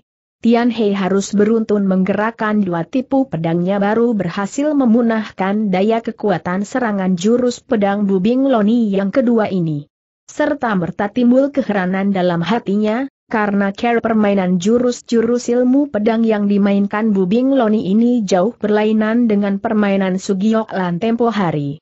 Terbit pancaran heran dari sorot pandangan Bubing Loni melihat Tian Hai mampu memunahkan gelombang tekanan serangan kekuatan pedangnya, namun rasa heran itu hanya sakilas saja. Di lain saat tubuhnya sudah melejit mumbul terbang ke tengah udara, berbareng ia lancarkan ilmu Hui Sim Kiam Hoat yang tulen, seketika Hun Tian Hai terkurung dalam kilatan sinar pedangnya. Hun Tian Hai menyedot napas dalam-dalam, Pan Yok Hian Keng dikerahkan seluruhnya ke arah batang pedang, dengan Gin Ho Sam yang kuat dan rapat serta kokoh penjagaannya itu ia layani rangsak membadai dari serangan pedang Bubing Loni. Saking cepat permainan mereka, sekejap saja 50 jurus sudah berlalu sambil mengunjuk rasa hina dan mengejek Bubing Loni mengurung Huntian Hai dalam kurungan kilat sinar pedangnya. Pertempuran mereka berdua kali ini, rasanya jauh lebih hebat dan seru dibanding Bubing Loni melawan Swat San Sugeo di puncak Soat San setahun yang lalu itu. Begitu menakjubkan seolah-olah dapat menyedot sukma bagi setiap orang yang menonton. Hanya bedanya kalau dulu Soat San Sugeo satu melawan empat, sebaliknya sekarang Tian Hai satu lawan satu, dan keadaan selama ini masih tetap seimbang. Selama tempur terasa oleh Tian Hai tekanan dari empat penjuru semakin besar, begitu besar gencetan ini sampai dada terasa sakit dan susah bernapas. Tapi kelihatannya Bubing bergerak begitu bebas dan seenaknya saja, sepercelum mengerahkan setakar tenaganya tujuannya tak lain tak bukan adalah hendak mengurung Tian Hai sampai mati lemas. Lama-kelamaan Tian Hai naik pitam, bahwa dirinya dipermainkan seperti kucing mempermainkan tikus merupakan suatu penghinaan terhadap dirinya, dengan menghardik keras, mendadak pedangnya mencorong terang, ia kerahkan seluruh kekuatannya melancarkan jurus ketiga dari Gin Ho Sam yang terhebat yaitu jurus Hojong Bahun Xiao, bangau terbang menembus awan mega, dengan kekerasan ia terjang dan merangsak ke arah tembok pertahanan sinar pedang Bubing Loni yang mengepung dirinya. Melihat Huntian Hai mendadak melancarkan jurus permainan pedangnya yang aneh rada bercekat hati Bubing, cepat pedangnya berkelebat membandir dengan jurus Lian So Kim Leong, Merantai naga emas, pedangnya menekan dan menggubat seluruh badan Hun Tian Hai. Sudah tentu Tian Hai tidak mau mandah terima binasa begitu saja, mau tak mau ia harus kerahkan seluruh tenaga dan kemampuan untuk menjebol segala tangan, kedua belah pihak menjadi sama kerahkan setakar tenaga masing-masing. Begitu pedang kedua belah pihak saling bentur kreng, Kontan tubuh Hun Tian Hai mencelat tinggi ke tengah udara tubuhnya terbang keluar dari lingkaran sinar pedang Bubing Loni yang mengurung dirinya. Tapi setelah ia berhasil hinggap di tanah kembali seketika berubah pucat air mukanya, karena pedang pusaka di tangannya sudah patah menjadi dua tergetar oleh benturan dahsyat tadi. Di lain pihak Bubing Loni juga menarik mukanya yang membeku dingin. Sungguh tak nyana olehnya kurungan sinar pedangnya yang begitu ampuh dan hebat itu berhasil dijebol oleh Hun Tian Hai. Dengan kaku dan dingin ia pandang Hun Tian Hai, lama sekali mereka berdiri saling pandang tanpa buka suara. Sekonyong-konyong tubuh Bubing Loni melambung tinggi lagi, pedang panjang bergerak cepat menyerang pula kepada Hun Tian Hai. Tak sempat Tian Hai banyak pertimbangan lagi, di mana? Tangan kanannya terayun ia sambitkan kutungan pedang buntung itu ke arah bubing sekuat tenaganya. Tanpa susah Babing Loni menggerakkan pedangnya menyampok jatuh sambitan kutungan pedang Huntian Hai. Mulutnya menyungging seringai sadis di mana pedangnya terayun ia menusuk ke jalan darah Jian Kin Hiat di pundak Huntian Hai. Gesit sekali Huntian Hai meloncat berkelit berbareng tangannya meraih ke pinggang merogoh keluar seruling pemberian Ong Xia. Tanpa banyak berpikir lagi Hwi Hang Xiao menuding miring ke depan, ia kembangkan jurus Witian Chit Chiat Se jurus pertama yang dinamakan Tian Witeliu, langit berputar bumi mengalir. Dengan permainan pedangnya yang hebat tiada taranya itu Bubing menyangka jurus serangan kali ini pasti berhasil melumpuhkan perlawanan Huntian Hai. Tak lebih tiga jurus belaka selanjutnya Huntian Hai harus tunduk dan patuh mendengar perintahnya. Tak nyana begitu tusukan pedangnya dilancarkan, mendadak dilihatnya Hun Tian Hai mengacungkan senjata seruling, sedikit pun ia tidak ambil perhatian, tapi tiba-tiba tusukan pedangnya belum lagi mengenai sasarannya mendadak terasa tangan kanannya kesemutan, segulung angin berkekuatan dahsyat melanda tiba dengan daya kisaran yang hebat sekali. Hampir saja ia terdesak melepaskan pedang sendiri. Keruan bukan main rasa kejutnya, lekas-lekas ia menyurut mundur beberapa langkah dengan dingin ia tatap muka Hun Tian Hai. Selamanya memang ia belum pemah kebentur dengan Wi Tian Chit Chiat Sok, tapi sejak lama pernah dengar namanya. Kini Wi Tian Chit Chiat Sok ternyata muncul atas bocah keras kepala yang menjadi musuhnya ini, bila sekarang tidak diberantas dan ditumpas, bila dia sampai melatihnya sampai sempurna kelak pasti bakal merupakan lawan tangguh yang paling berbahaya bagi dirinya. Dasar culas dengan dingin mulutnya menggeram seperti binatang kelaparan. Tian Hei insaf tibalah kini saatnya bagi dirinya untuk berjuang bagi hidup dalam menghadapi mara bahaya yang mengancam ini. Sedikit berpikir segera mulutnya bersuit panjang, tiba-tiba tubuhnya meluncur terbang lempang dan lurus ke depan, di tengah jalan tubuhnya menjulang ke atas lalu menukik pula meluncur dengan kecepatan kilat, di mana tubuhnya bergerak memutar seruling di tangan melancarkan pula tipu-tipu Witian Chit Chiat Sok. Yang diarah adalah batok kepala Bubing Loni. Tidak malu Bubing Loni diagungkan sebagai jago pedang nomor satu di seluruh dunia ini, tanpa gugup ia sambut serangan hebat Tian Hai ini dengan tipu-tipu Hui Sim Kiam Hoat yang sakti itu, di mana kekuatan tenaganya terpancar dari ujung pedangnya serangan seruling Tian Hai kena tergetar miring. Tapi Witian Chit Chiat Sak memang bukan olah-olah hebatnya, di tengah udara Tian Hai terbang berputar, sedikit serulingnya bergerak saja, setabur kekuatan hawa yang berkisar besar menerjang ke arah Bubing Loni. Dengan tenang Bubing Loni pandang permainan Tiani, cukup ia gerakan pedangnya pula setiap jurus serangan Tian Hai kena dibendung di luar lingkaran. Tapi tak urung hatinya kaget juga di akhiran bahwa kepandaian Hun Tian Hai bisa maju pesat sedemikian tingginya. Wi Tian Chit Chiat Sel yang dirjaya dan hebat ini memang bukan ilmu sembarang ilmu yang dapat dihadapi secara serampangan, untung latihan Hun Tian Hai belum matang. Kalau tidak mungkin hari ini dirinya sendiri yang bakal terjungkal di tangan musuh mudanya ini. Melihat rangsakannya berulang kali selalu gagal Hun Tian Hai semakin gugup dan kaget. Memang tidaklah malu Bubing Loni disebut tokoh kose nomor satu di seluruh dunia ini dibanding Tiang Pek Kloko Ai boleh dikata terlalu jauh bedanya, Tidaklah heran bahwa Ang Huat Lomo juga gentar terhadapnya malah begitu takut dan takutnya ini tidaklah bukan beralasan. Sekarang Tian Hai baru insaf jangan kata untuk menang, supaya tidak kalah saja juga rasanya tidak mungkin lagi, aku tidak bisa mati demikian saja dan tidak bisa mati secara konyol. Sembari tempur Hun Tian Hai memutar otak, akhirnya ia berkeputusan seketika tubuhnya melambung tinggi pula, di saat Bubing Loni hanya bertahan menyelami serangan Witian Chit Chiat Sok, tiba-tiba ia meluncur jauh dan lari sifat kuping ke depan sana. Bubing menggerung gusar, sebagai tokoh yang banyak pengalaman perbuatan Huntian Hai masa dapat mengelabui kejelian matanya, begitu tubuh Huntian Hai melambung ke depan, ia lantas dapat meraba maksud tujuan Huntian Hai, tahu-tahu tubuhnya pun sudah berkelebat mengejar.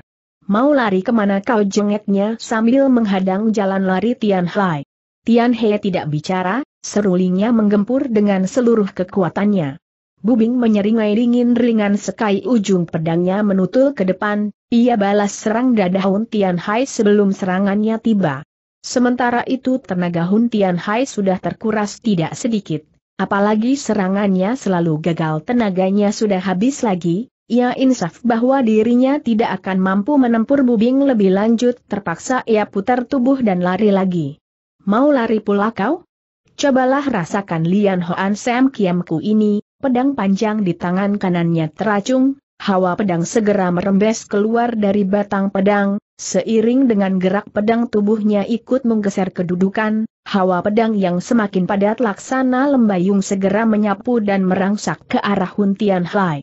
Tian Hei menyedot napas panjang, ia insaf bahwa dirinya hari ini sulit menyelamatkan diri pula, terpaksa harus mengadu jiwa cepat seruling disapukan miring ke depan, ia sambut rangsukan hebat musuh ini dengan Wei Tian Chit Chiat Sok pula.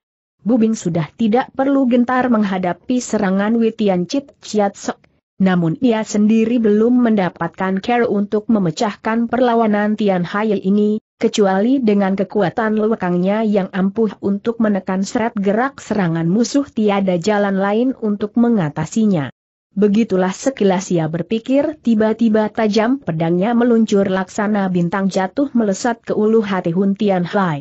Tian Hai menekuk dengkul mendakan tubuh untuk menghindar, bersamaan tangannya menggentak senjata dengan tipu-tipu Tian Chit Chiat Sak menghalau rangsukan bubing selanjutnya. Bubing sudah berkeputusan hari ini betapapun ia harus bunuh Tian Hai dengan pedangnya, memang dengan perhitungan yang cukup masak, serangan kali ini hanya gertak sambal belaka, tiba-tiba badannya menerjang maju ke depan, berbareng pedang panjang dibalikan berputar terus disambitkan lempang ke depan, ia sudah kerahkan seluruh lewekangnya UTK melontarkan pedang, tujuannya sekali gebrak harus berhasil melumpuhkan perlawanan Huntian Hai.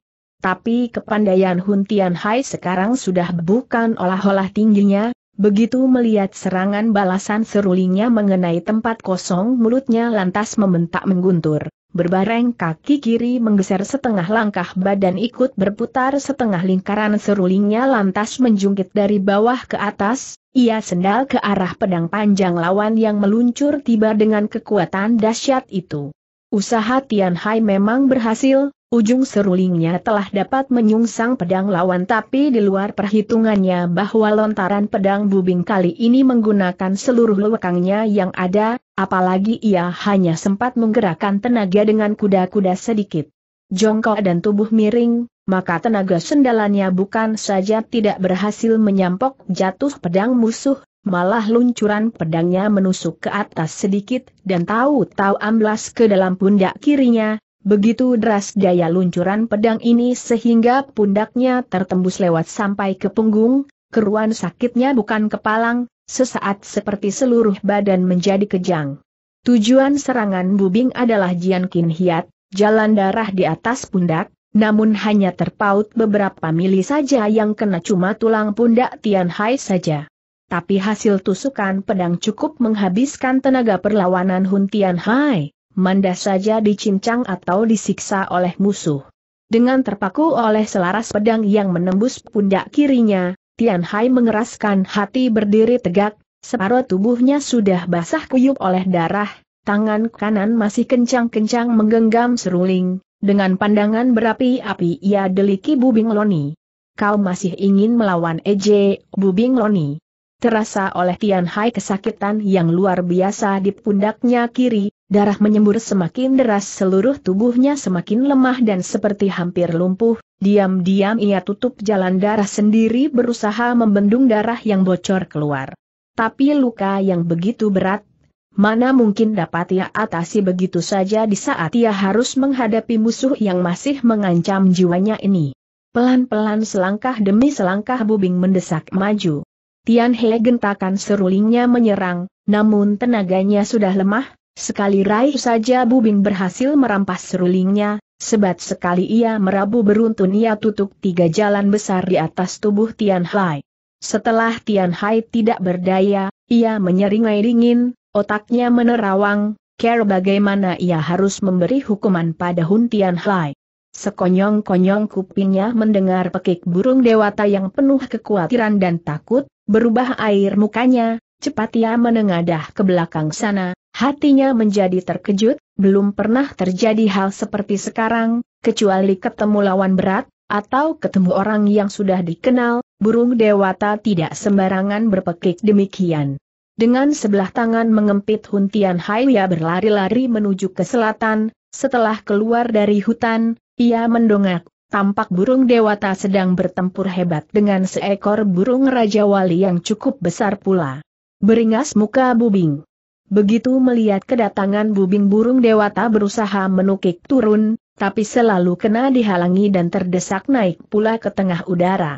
Bubing menjadi gusar mulutnya menjebir hina, Kelihatannya burung Raja Wali ini peliharaan orang, setelah mengukur jarak ketinggiannya, hidungnya mendengus, batinnya, kau kira jarak begini tinggi aku tidak mampu naik segera ia letakkan tubuh Tian Hai di tanah, tubuhnya mendadak mencelat tinggi ke tengah udara, laksana burung besar kedua tangannya berkembang terus meluncur tinggi tepat sekali hinggap di atas punggung burung dewata, berbareng ia ayun pedang di tangannya membacok ke arah burung Raja Wali.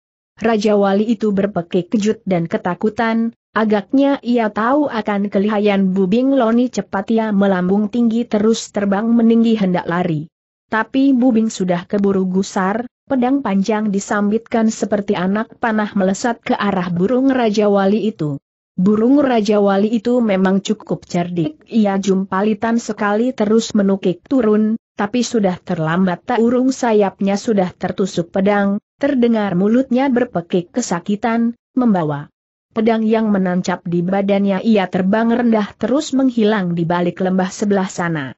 Bubing menyeringai sinis dengan kemenangan, waktu ia menunduk melongok ke bawah, Hun Tian Hai yang diletakkan di tanah tadi sudah tidak kelihatan pula bayangannya, sejenak ia terlongong, lantas meluncur turun memeriksa dan mencari ubekan, namun tidak berhasil menemukan jejaknya.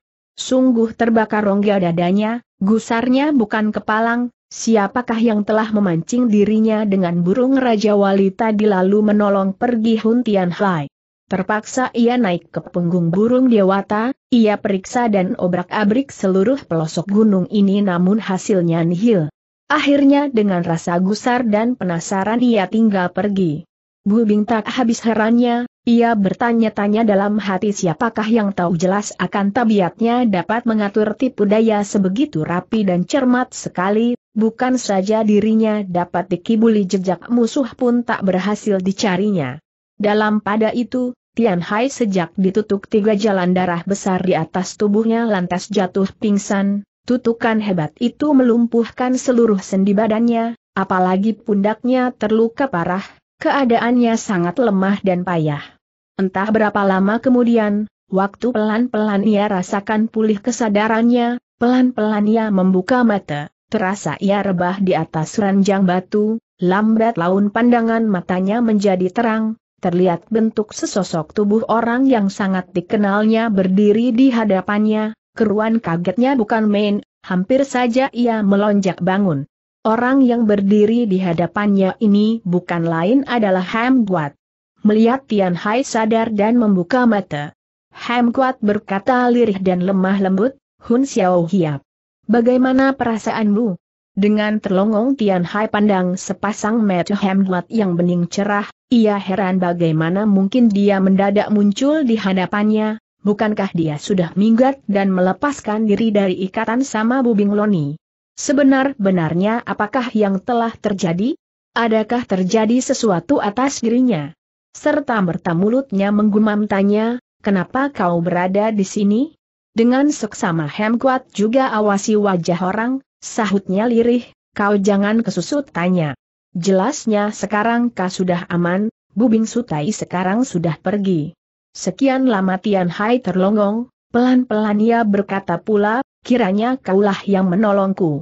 Hem kuat manggut-manggut, pandangannya mendorong ke arah jauh sana, ujarnya, bukan begitu sebetulnya.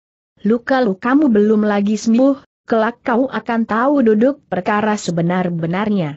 Melihat Hem Kuat tak mau banyak bicara, Tian Hai pejamkan matanya, sungguh tak nyana bahwa di tempat ini ia bakal bersua kembali dengan Hem Kuat. Banyak kata yang sebenar-benarnya ingin diutarakan, namun tak kuasa diucapkan.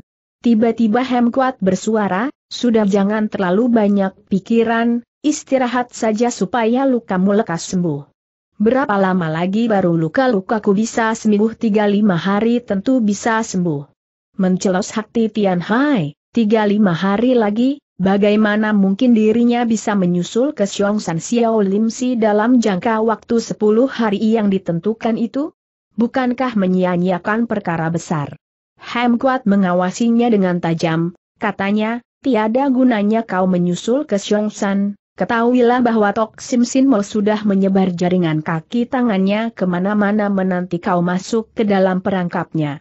Sekarang dia tidak berani mendesakmu menjadi anggota, tujuan yang utama adalah melenyapkan jiwamu yang dipandang saingan terberat bagi kehidupan gerombolannya.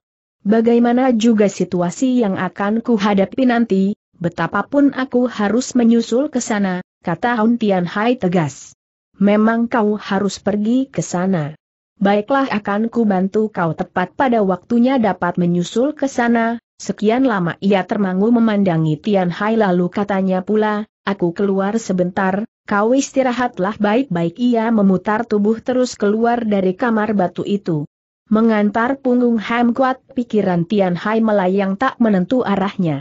Ia merasa bahwa diri Ham kuat ini penuh diliputi kemisteriusan, jejaknya tidak menentu dan sulit diraba juntrungannya.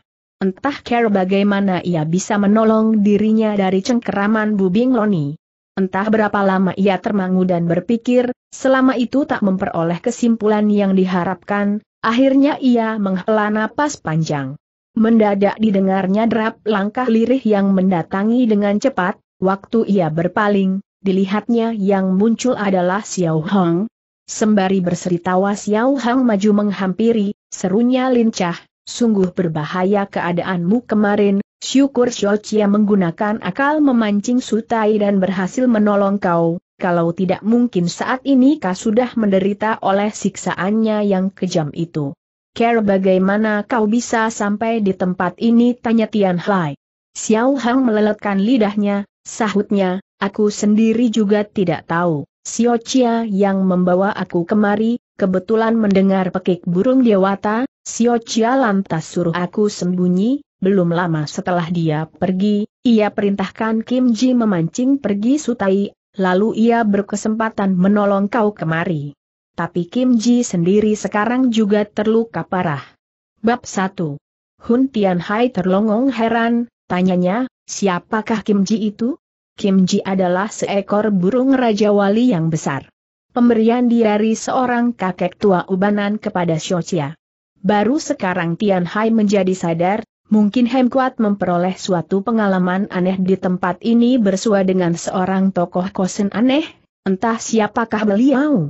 Keadaanmu sungguh sangat berbahaya, banyak orang ingin membekuk kau, sedang kau berkeras kepala ingin ke Xiao Im Si, aku menjadi khawatir dan takut bagi keselamatanmu. Kenapa kau khawatir dan takut bagi diriku? Xiao Hang mengejapkan matanya, sahutnya tertawa jenaka, kenapa tidak? Bukankah kau seorang baik? Sayang nasibmu terlalu jelek, jikalau aku punya kepandaian silat yang tinggi tentu aku bantu kau. Aduh sungguh bahagia dan terima kasih pada kau. Kau harus terima kasih kepada Xiao baru betul demikian goda Xiao Hang sembari tertawa penuh hati. Sudah tentu, bukankah kali ini dia yang menolong jiwaku? Bukan itu yang kumaksudkan sungguh bodoh kau, aku tak mau bicara lagi padamu, lalu ia berlari keluar dan menghilang. Tian He tercengang, ia menjadi bingung, tak tahu dia ke mana juntrungan maksud kata-kata Xiao Hong, pikir puja pikir ia menjadi keletihan, akhirnya ia himpun semangat dan mengatur napas mulai samadi kecuali luka di pundaknya kiri masih terasa sakit mungkin karena terlalu banyak mengeluarkan darah sehingga kepalanya terasa pusing dan mata berkunang-kunang. Serta merta terpikir dan terbayang lagi wajah Haim Guat, entah ke mana dia selama ini? Sedang ia termangu, derap langkah lirih mendatangi pelan-pelan, yang muncul memang Haim Guat adanya. Setelah tiba di samping Tian Hai, Ham Kuat berkata, bagaimana kau ini dari keadaanmu ini jelas bahwa tadi kau tidak istirahat secara baik-baik. Tian He tertawa kikuk, sahutnya, banyak urusan yang tidak bisa tidak harus kupikirkan, tak tertahan ia tertawa geli. Kau punya janggalan hati, tiada halangannya turun berjalan-jalan cuma badanmu rada lemah karena terlalu banyak keluar darah, jalan-jalan melemaskan otot dan melapangkan pikiran juga ada faedahnya bukan? Tian He termangu tak bicara. Aku masih ada urusan, demikian ujar Hem Guat. Kau jalan-jalan sendiri atau nanti aku panggil Xiao Hang untuk temani kau. Pelan-pelan Tian Hai merangkak bangun, katanya tertawa dibuat-buat, tak usahlah. Aku jalan-jalan sendiri saja. Hem Guat termenung sebentar, Mulutnya terbuka namun urung bicara, setelah Tian Hai berdiri ia berkata, kalau begitu aku pergi dulu, ia tinggal pergi. Hun Tian Hai menjadi merasa hambar melihat sikap Hem Kuat yang tidak menentu itu, kadang-kadang hangat simpatik, di lain saat dingin, wajahnya tak pernah mengulum senyum manis, akhirnya Tian Hai tertawa geli sendiri. Batinnya, bagaimana aku ini, Seorang laki-laki sejati kenapa tak punya pendirian tetap, seumpama aku punya rasa cinta terhadap Ham Guat, tak seharusnya aku berpikiran tidak genah, apalagi aku belum begitu mengenal pribadi dan keadaannya, mana bisa bicara soal cinta terhadap dia pelan-pelan ia menggermet maju dan keluar dari kamar.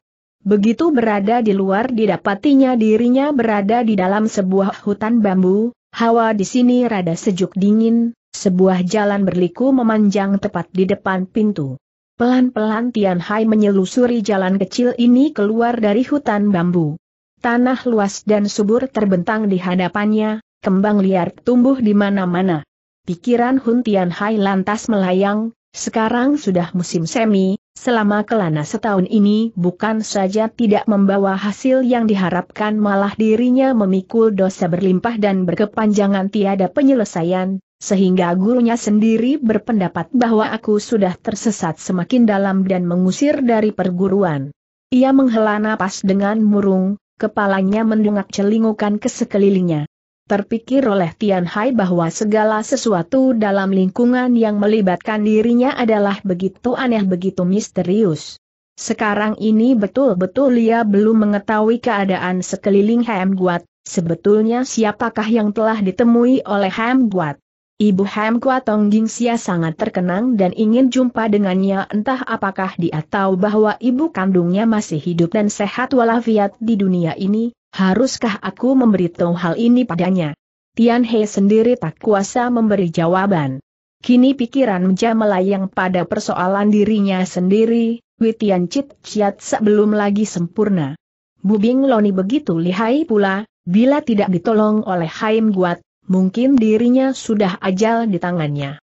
Begitulah duduk di atas tanah berumput ia menengadah mengawasi mega yang mengembang di langit, terpikir olehnya apa yang harus kulakukan selanjutnya. Tengah pikirannya melayang mendadak terasa olehnya di belakangnya ada seseorang, gesit sekali tiba-tiba ia membalikan tubuh, pendatang ini kiranya adalah Haim Guat, ia menghela napas lega, ujarnya, kiranya kau. Sorot mata Hemguat memancarkan senyum manis, tiba-tiba ia menunduk malu-malu, katanya, tak tahu aku apa yang sedang kau lakukan di sini, aku datang menengok kau. Wah banyak terima kasih akan perhatianmu. Tadi kau termangu dan asjik berpikir, kedatanganku malah mengejutkan kau, maaf ya Aii, berkelebihan ucapanmu. Kau harus salahkan aku berlaku kurang waspada. Tentu kau merasa sangat heran terhadapku bukan tiba-tiba tanyalah Hemguat. Tidak. Aku hanya merasa kau rada misterius sepak terjangmu sulit diraba, aku merasa ada sesuatu yang kurang kupahami atas dirjemu. Kelak pasti kau akan paham desis Hemguat lirih. Sampai di sini mereka tenggelam dalam alam pikiran masing-masing. Tian He merasa kehabisan kata-kata, setiap kali berhadapan ia menjadi mati kutu dan tak kuasa membuka isi hatinya. Mengandal ketekunan dan keyakinanmu pasti kelak kau berhasil. Wi Tian Chit Chiat sudah berhasil kau pelajari kelak tentu kau akan menjagoi dan memimpin rimba persilatan. Sayang kau sekarang belum dapat menyelami intisarinya, perlahan-lahan aku yakin akan dapat membantu kesukaranmu ini. Tian He lantas bangkit, katanya, kalau begitu ku harap Nona Sudi memberi petunjuk bukan diriku yang ku maksud. Aku kenal seorang kosen yang aneh, tentu beliau dapat bantu. Kau, bila kau sudi, aku dapat membawamu kepada beliau. Apakah beliau sudi menerima aku? Mungkin, tapi coba ku tanyakan dulu, kau tunggu sebentar di sini lalu ia membalik tubuh dan menghilang di rumpun bambu. Setelah Hem Kuat tidak kelihatan, Tian Hai bertanya-tanya dalam hati, entah siapakah tokoh kosen yang dimaksudkan. Tengah pikirannya bekerja, sekonyong-konyong dilihatnya sesosok bayangan hitam berkelebat lewat, sekilas pandang saja ia dapat mengukur betapa tinggi kepandaian orang itu, keruan terkejut hatinya. Memang luncuran tubuh orang itu juga mendadak berhenti, Agaknya ia pun sudah melihat kehadiran Tian Hai di tempat itu, kiranya itulah seorang nenek tua renta yang ubanan. Dengan cermat Tian Hai awasi nenek tua ini tanpa bicara, hatinya kejut dan heran, ilmu silat nenek tua ini begitu lihai, sekarang berhenti dan mengawasi dirinya, kelihatannya sudah kenal pada dirinya. Nenek tua itu menyeringai iblis, katanya, kau tidak kenal aku, tapi aku kenal kau, Kau adalah Hun Tian Hai, ya bukan? Siapa kau tanya Tian Hai melongo? Tiada halangannya ku beritahu pada kau, aku bernama Kiu Yeu Molo, kukira kau sudah kenal nama besarku itu bukan? Tian Hai benar-benar terperanjat, batinnya, Kiu Yeu Molo sudah muncul kembali, dia memperoleh Hian Tian Mokip, kepandaian silatnya sekarang tentu sudah teramat lihai, entah apa tujuannya dengan menampakkan dirinya ini, Kiu Ye Umolo menyeringai tawa dua kali, ujarnya, kiranya kau tidak mampus, di mana Tok Sim Sino. Aku ingin mencarinya untuk membuat perhitungan padanya, sebelum Tian Hai sempat menjawab, mendadak Kiu Ye Umolo menubruk maju serta berkata, mari kau ikut aku saja. Hun Tian Hai menjejakkan kakinya mundur dengan cepat, namun kedua telapak tangan Kiu Yomolo bergerak mencomot dan meraih dari kanan kiri, dua gelombang tenaga lunak menerpa keluar dari telapak tangannya mencengkeram ke arah Hun Tian Hai. Tian He mengeluh dalam hati, sungguh celaka pengalamannya hari ini, baru saja dirinya keluar jalan-jalan menyegarkan badan tak nyana kepergok oleh Kiu Yeu Molo yang kebetulan lewat, dia punya pertikaian dengan Sutou Chiko yang belum terselesaikan, tentu dia pun tak mau melepaskan dirinya.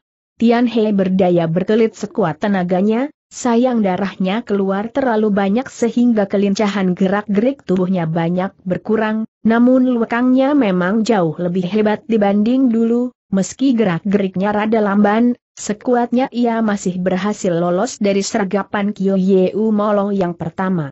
Keruan Kyo Yeu Molo sendiri pun bukan kepalang kejutnya, Jikalau hari ini ia tidak berhasil membekuk Huntian Hai, care bagaimana ia harus mencari Pekut Sin Mo dan Tok Sim Sin Mo kelak?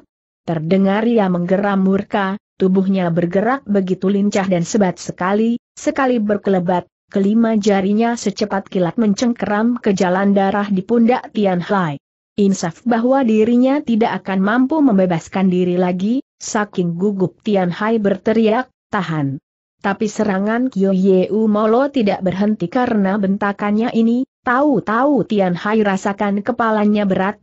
Metu berkunang-kunang, pundak kirinya sudah dicengkeram keras oleh jari-jari Kyo Yeu Molo yang kurus dan berkuku runcing itu. Jengeknya, apa yang hendak kau katakan? Memandang muka orang Hun Tian Hai menjadi kecewa dan putus asa, Kiu Yeu Molo bicara setelah berhasil meringkus dirinya, untuk mengulur waktu sudah tak mungkin lagi, tawar saja ia menyahut, sekarang tak ada apa-apa lagi. Kau kira aku tidak tahu apa yang sedang kau pikirkan jengek Kiu Yeu Molo, sang kamu aku hanya ingin tahu jejak Tok Sim Sin Mo belaka? Apa yang ingin ku dapat belum tentu bisa ku peroleh dari atas tubuhmu.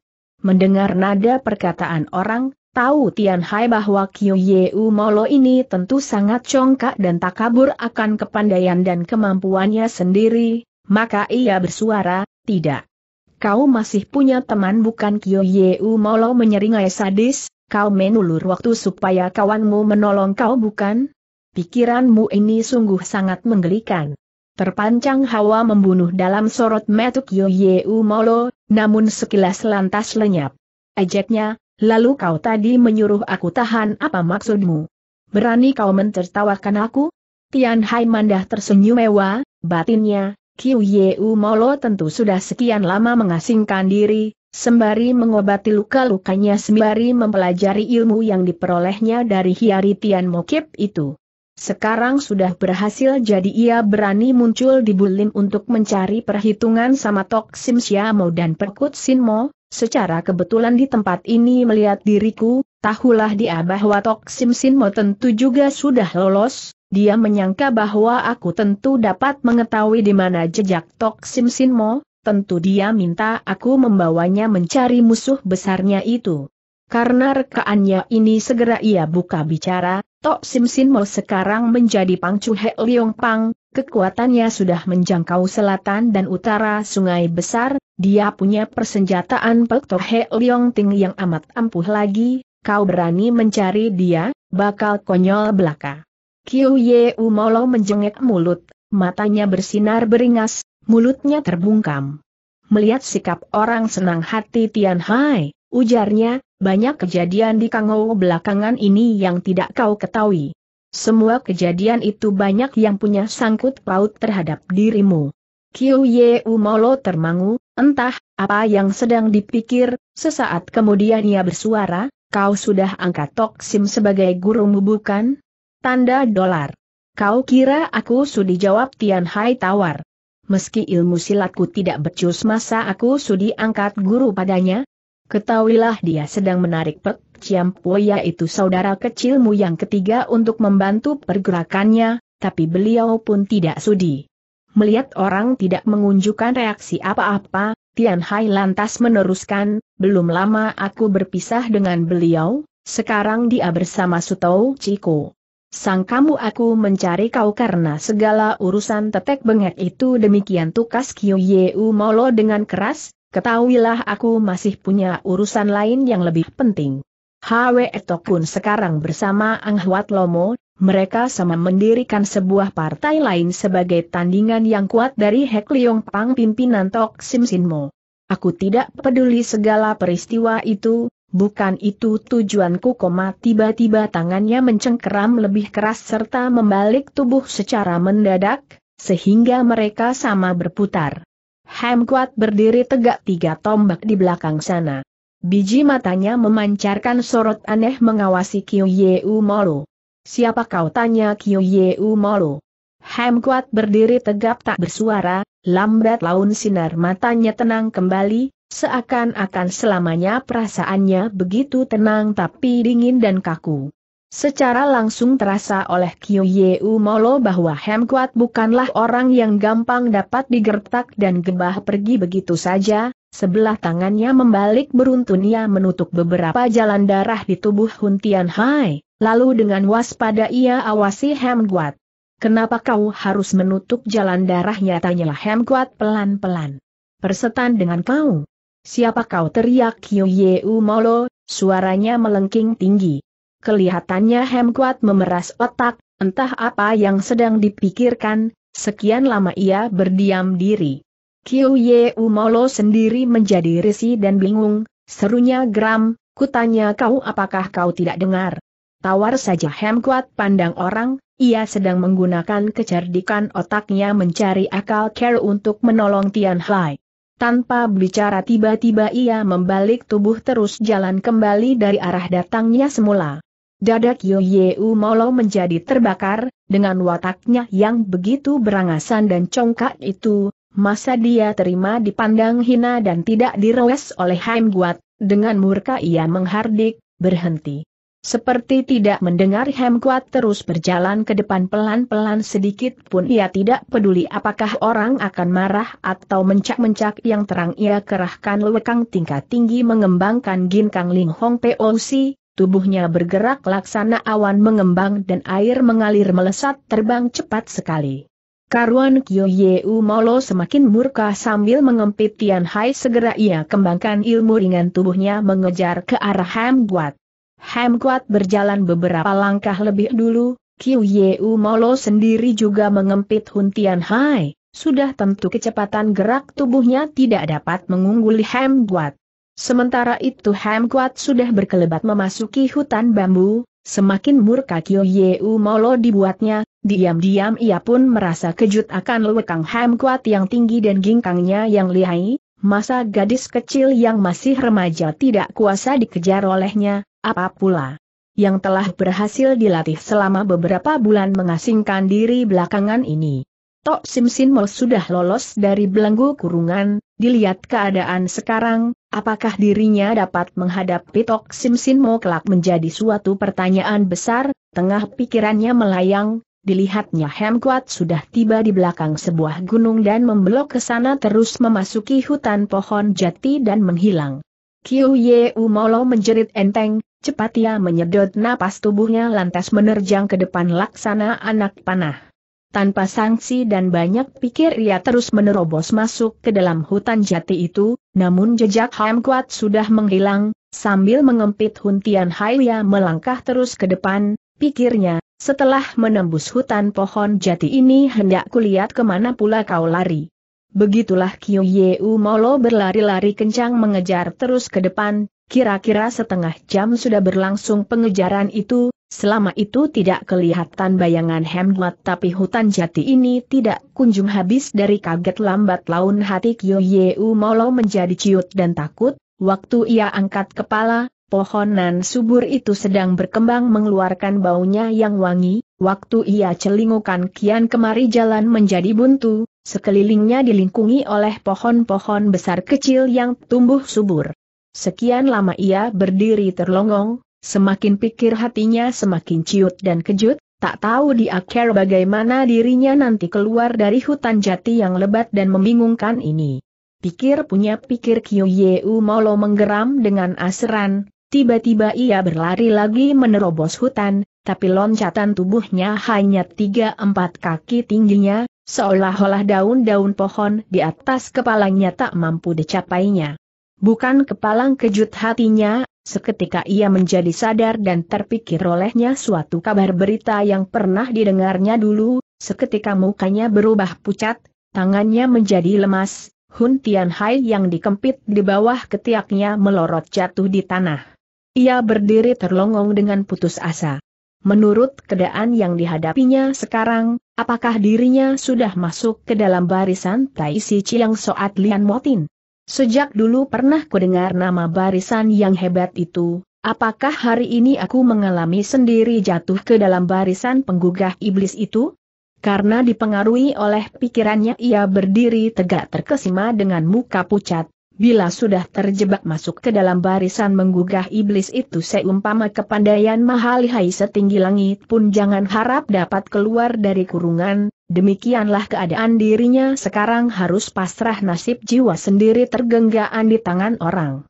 Waktu ia angkat kepala celingukan sekelilingnya hening lelap.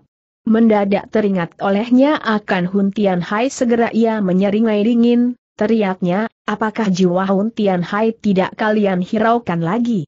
Awas ku bunuh dia sembari mengancam ia angkat tangannya mengincar batok kepala Huntian Hai. sedang kuping dipasang serta metu memeriksa keadaan sekelilingnya. Sekonyong-konyong sebuah suara yang lirih seperti bunyi nyamuk terkiang di pinggir kupingnya, setelah masuk ke dalam Taisi Chiang Soat Lian Molotin masih berani timbul angan jahatmu.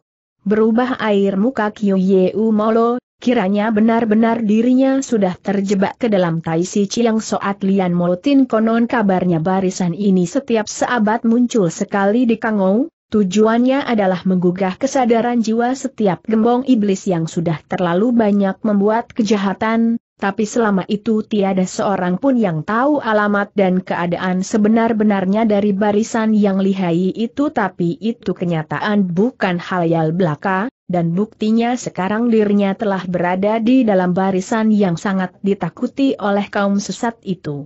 ILMU silat yang dipelajari dari Hian Tian Mokip belum lagi mendapat hasil yang memuaskan, sungguh penasaran kalau dirinya harus berkorban secara konyol di sini setelah terlongong, akhirnya ia berseru, Hun Tian Hai berada di tanganku, dia menggembol rahasia Ni Hai Kitin, dengan segala rahasia yang berharga itu untuk menebus jiwaku, apakah belum setimpal?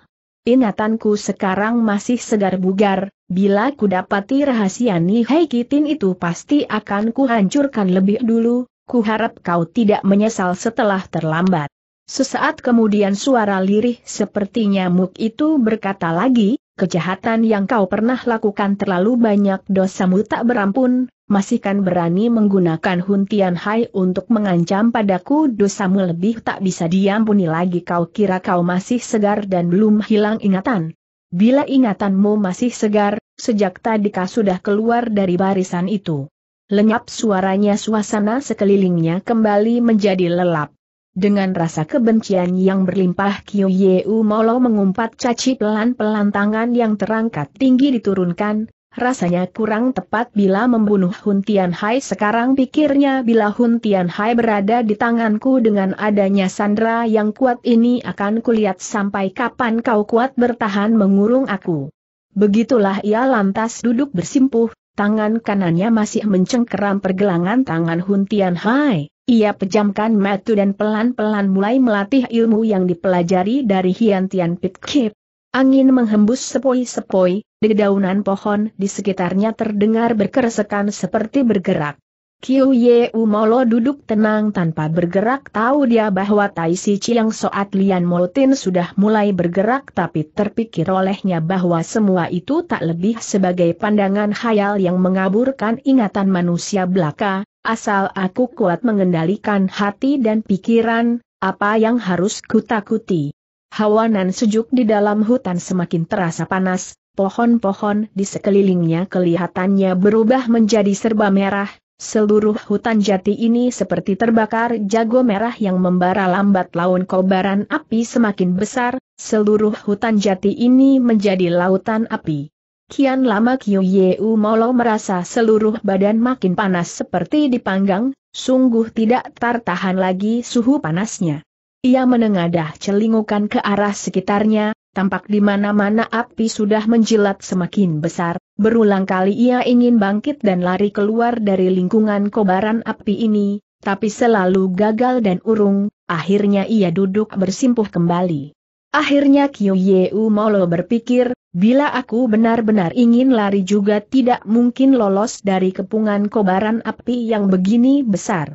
Seumpama mati juga ikhlas karena Huntian Hai akan menyertainya ke jalan alam baka, bila kalian memang tidak ingin menyelamatkan jiwa Huntian Hai, apa boleh buat, biar aku gugur bersama dia.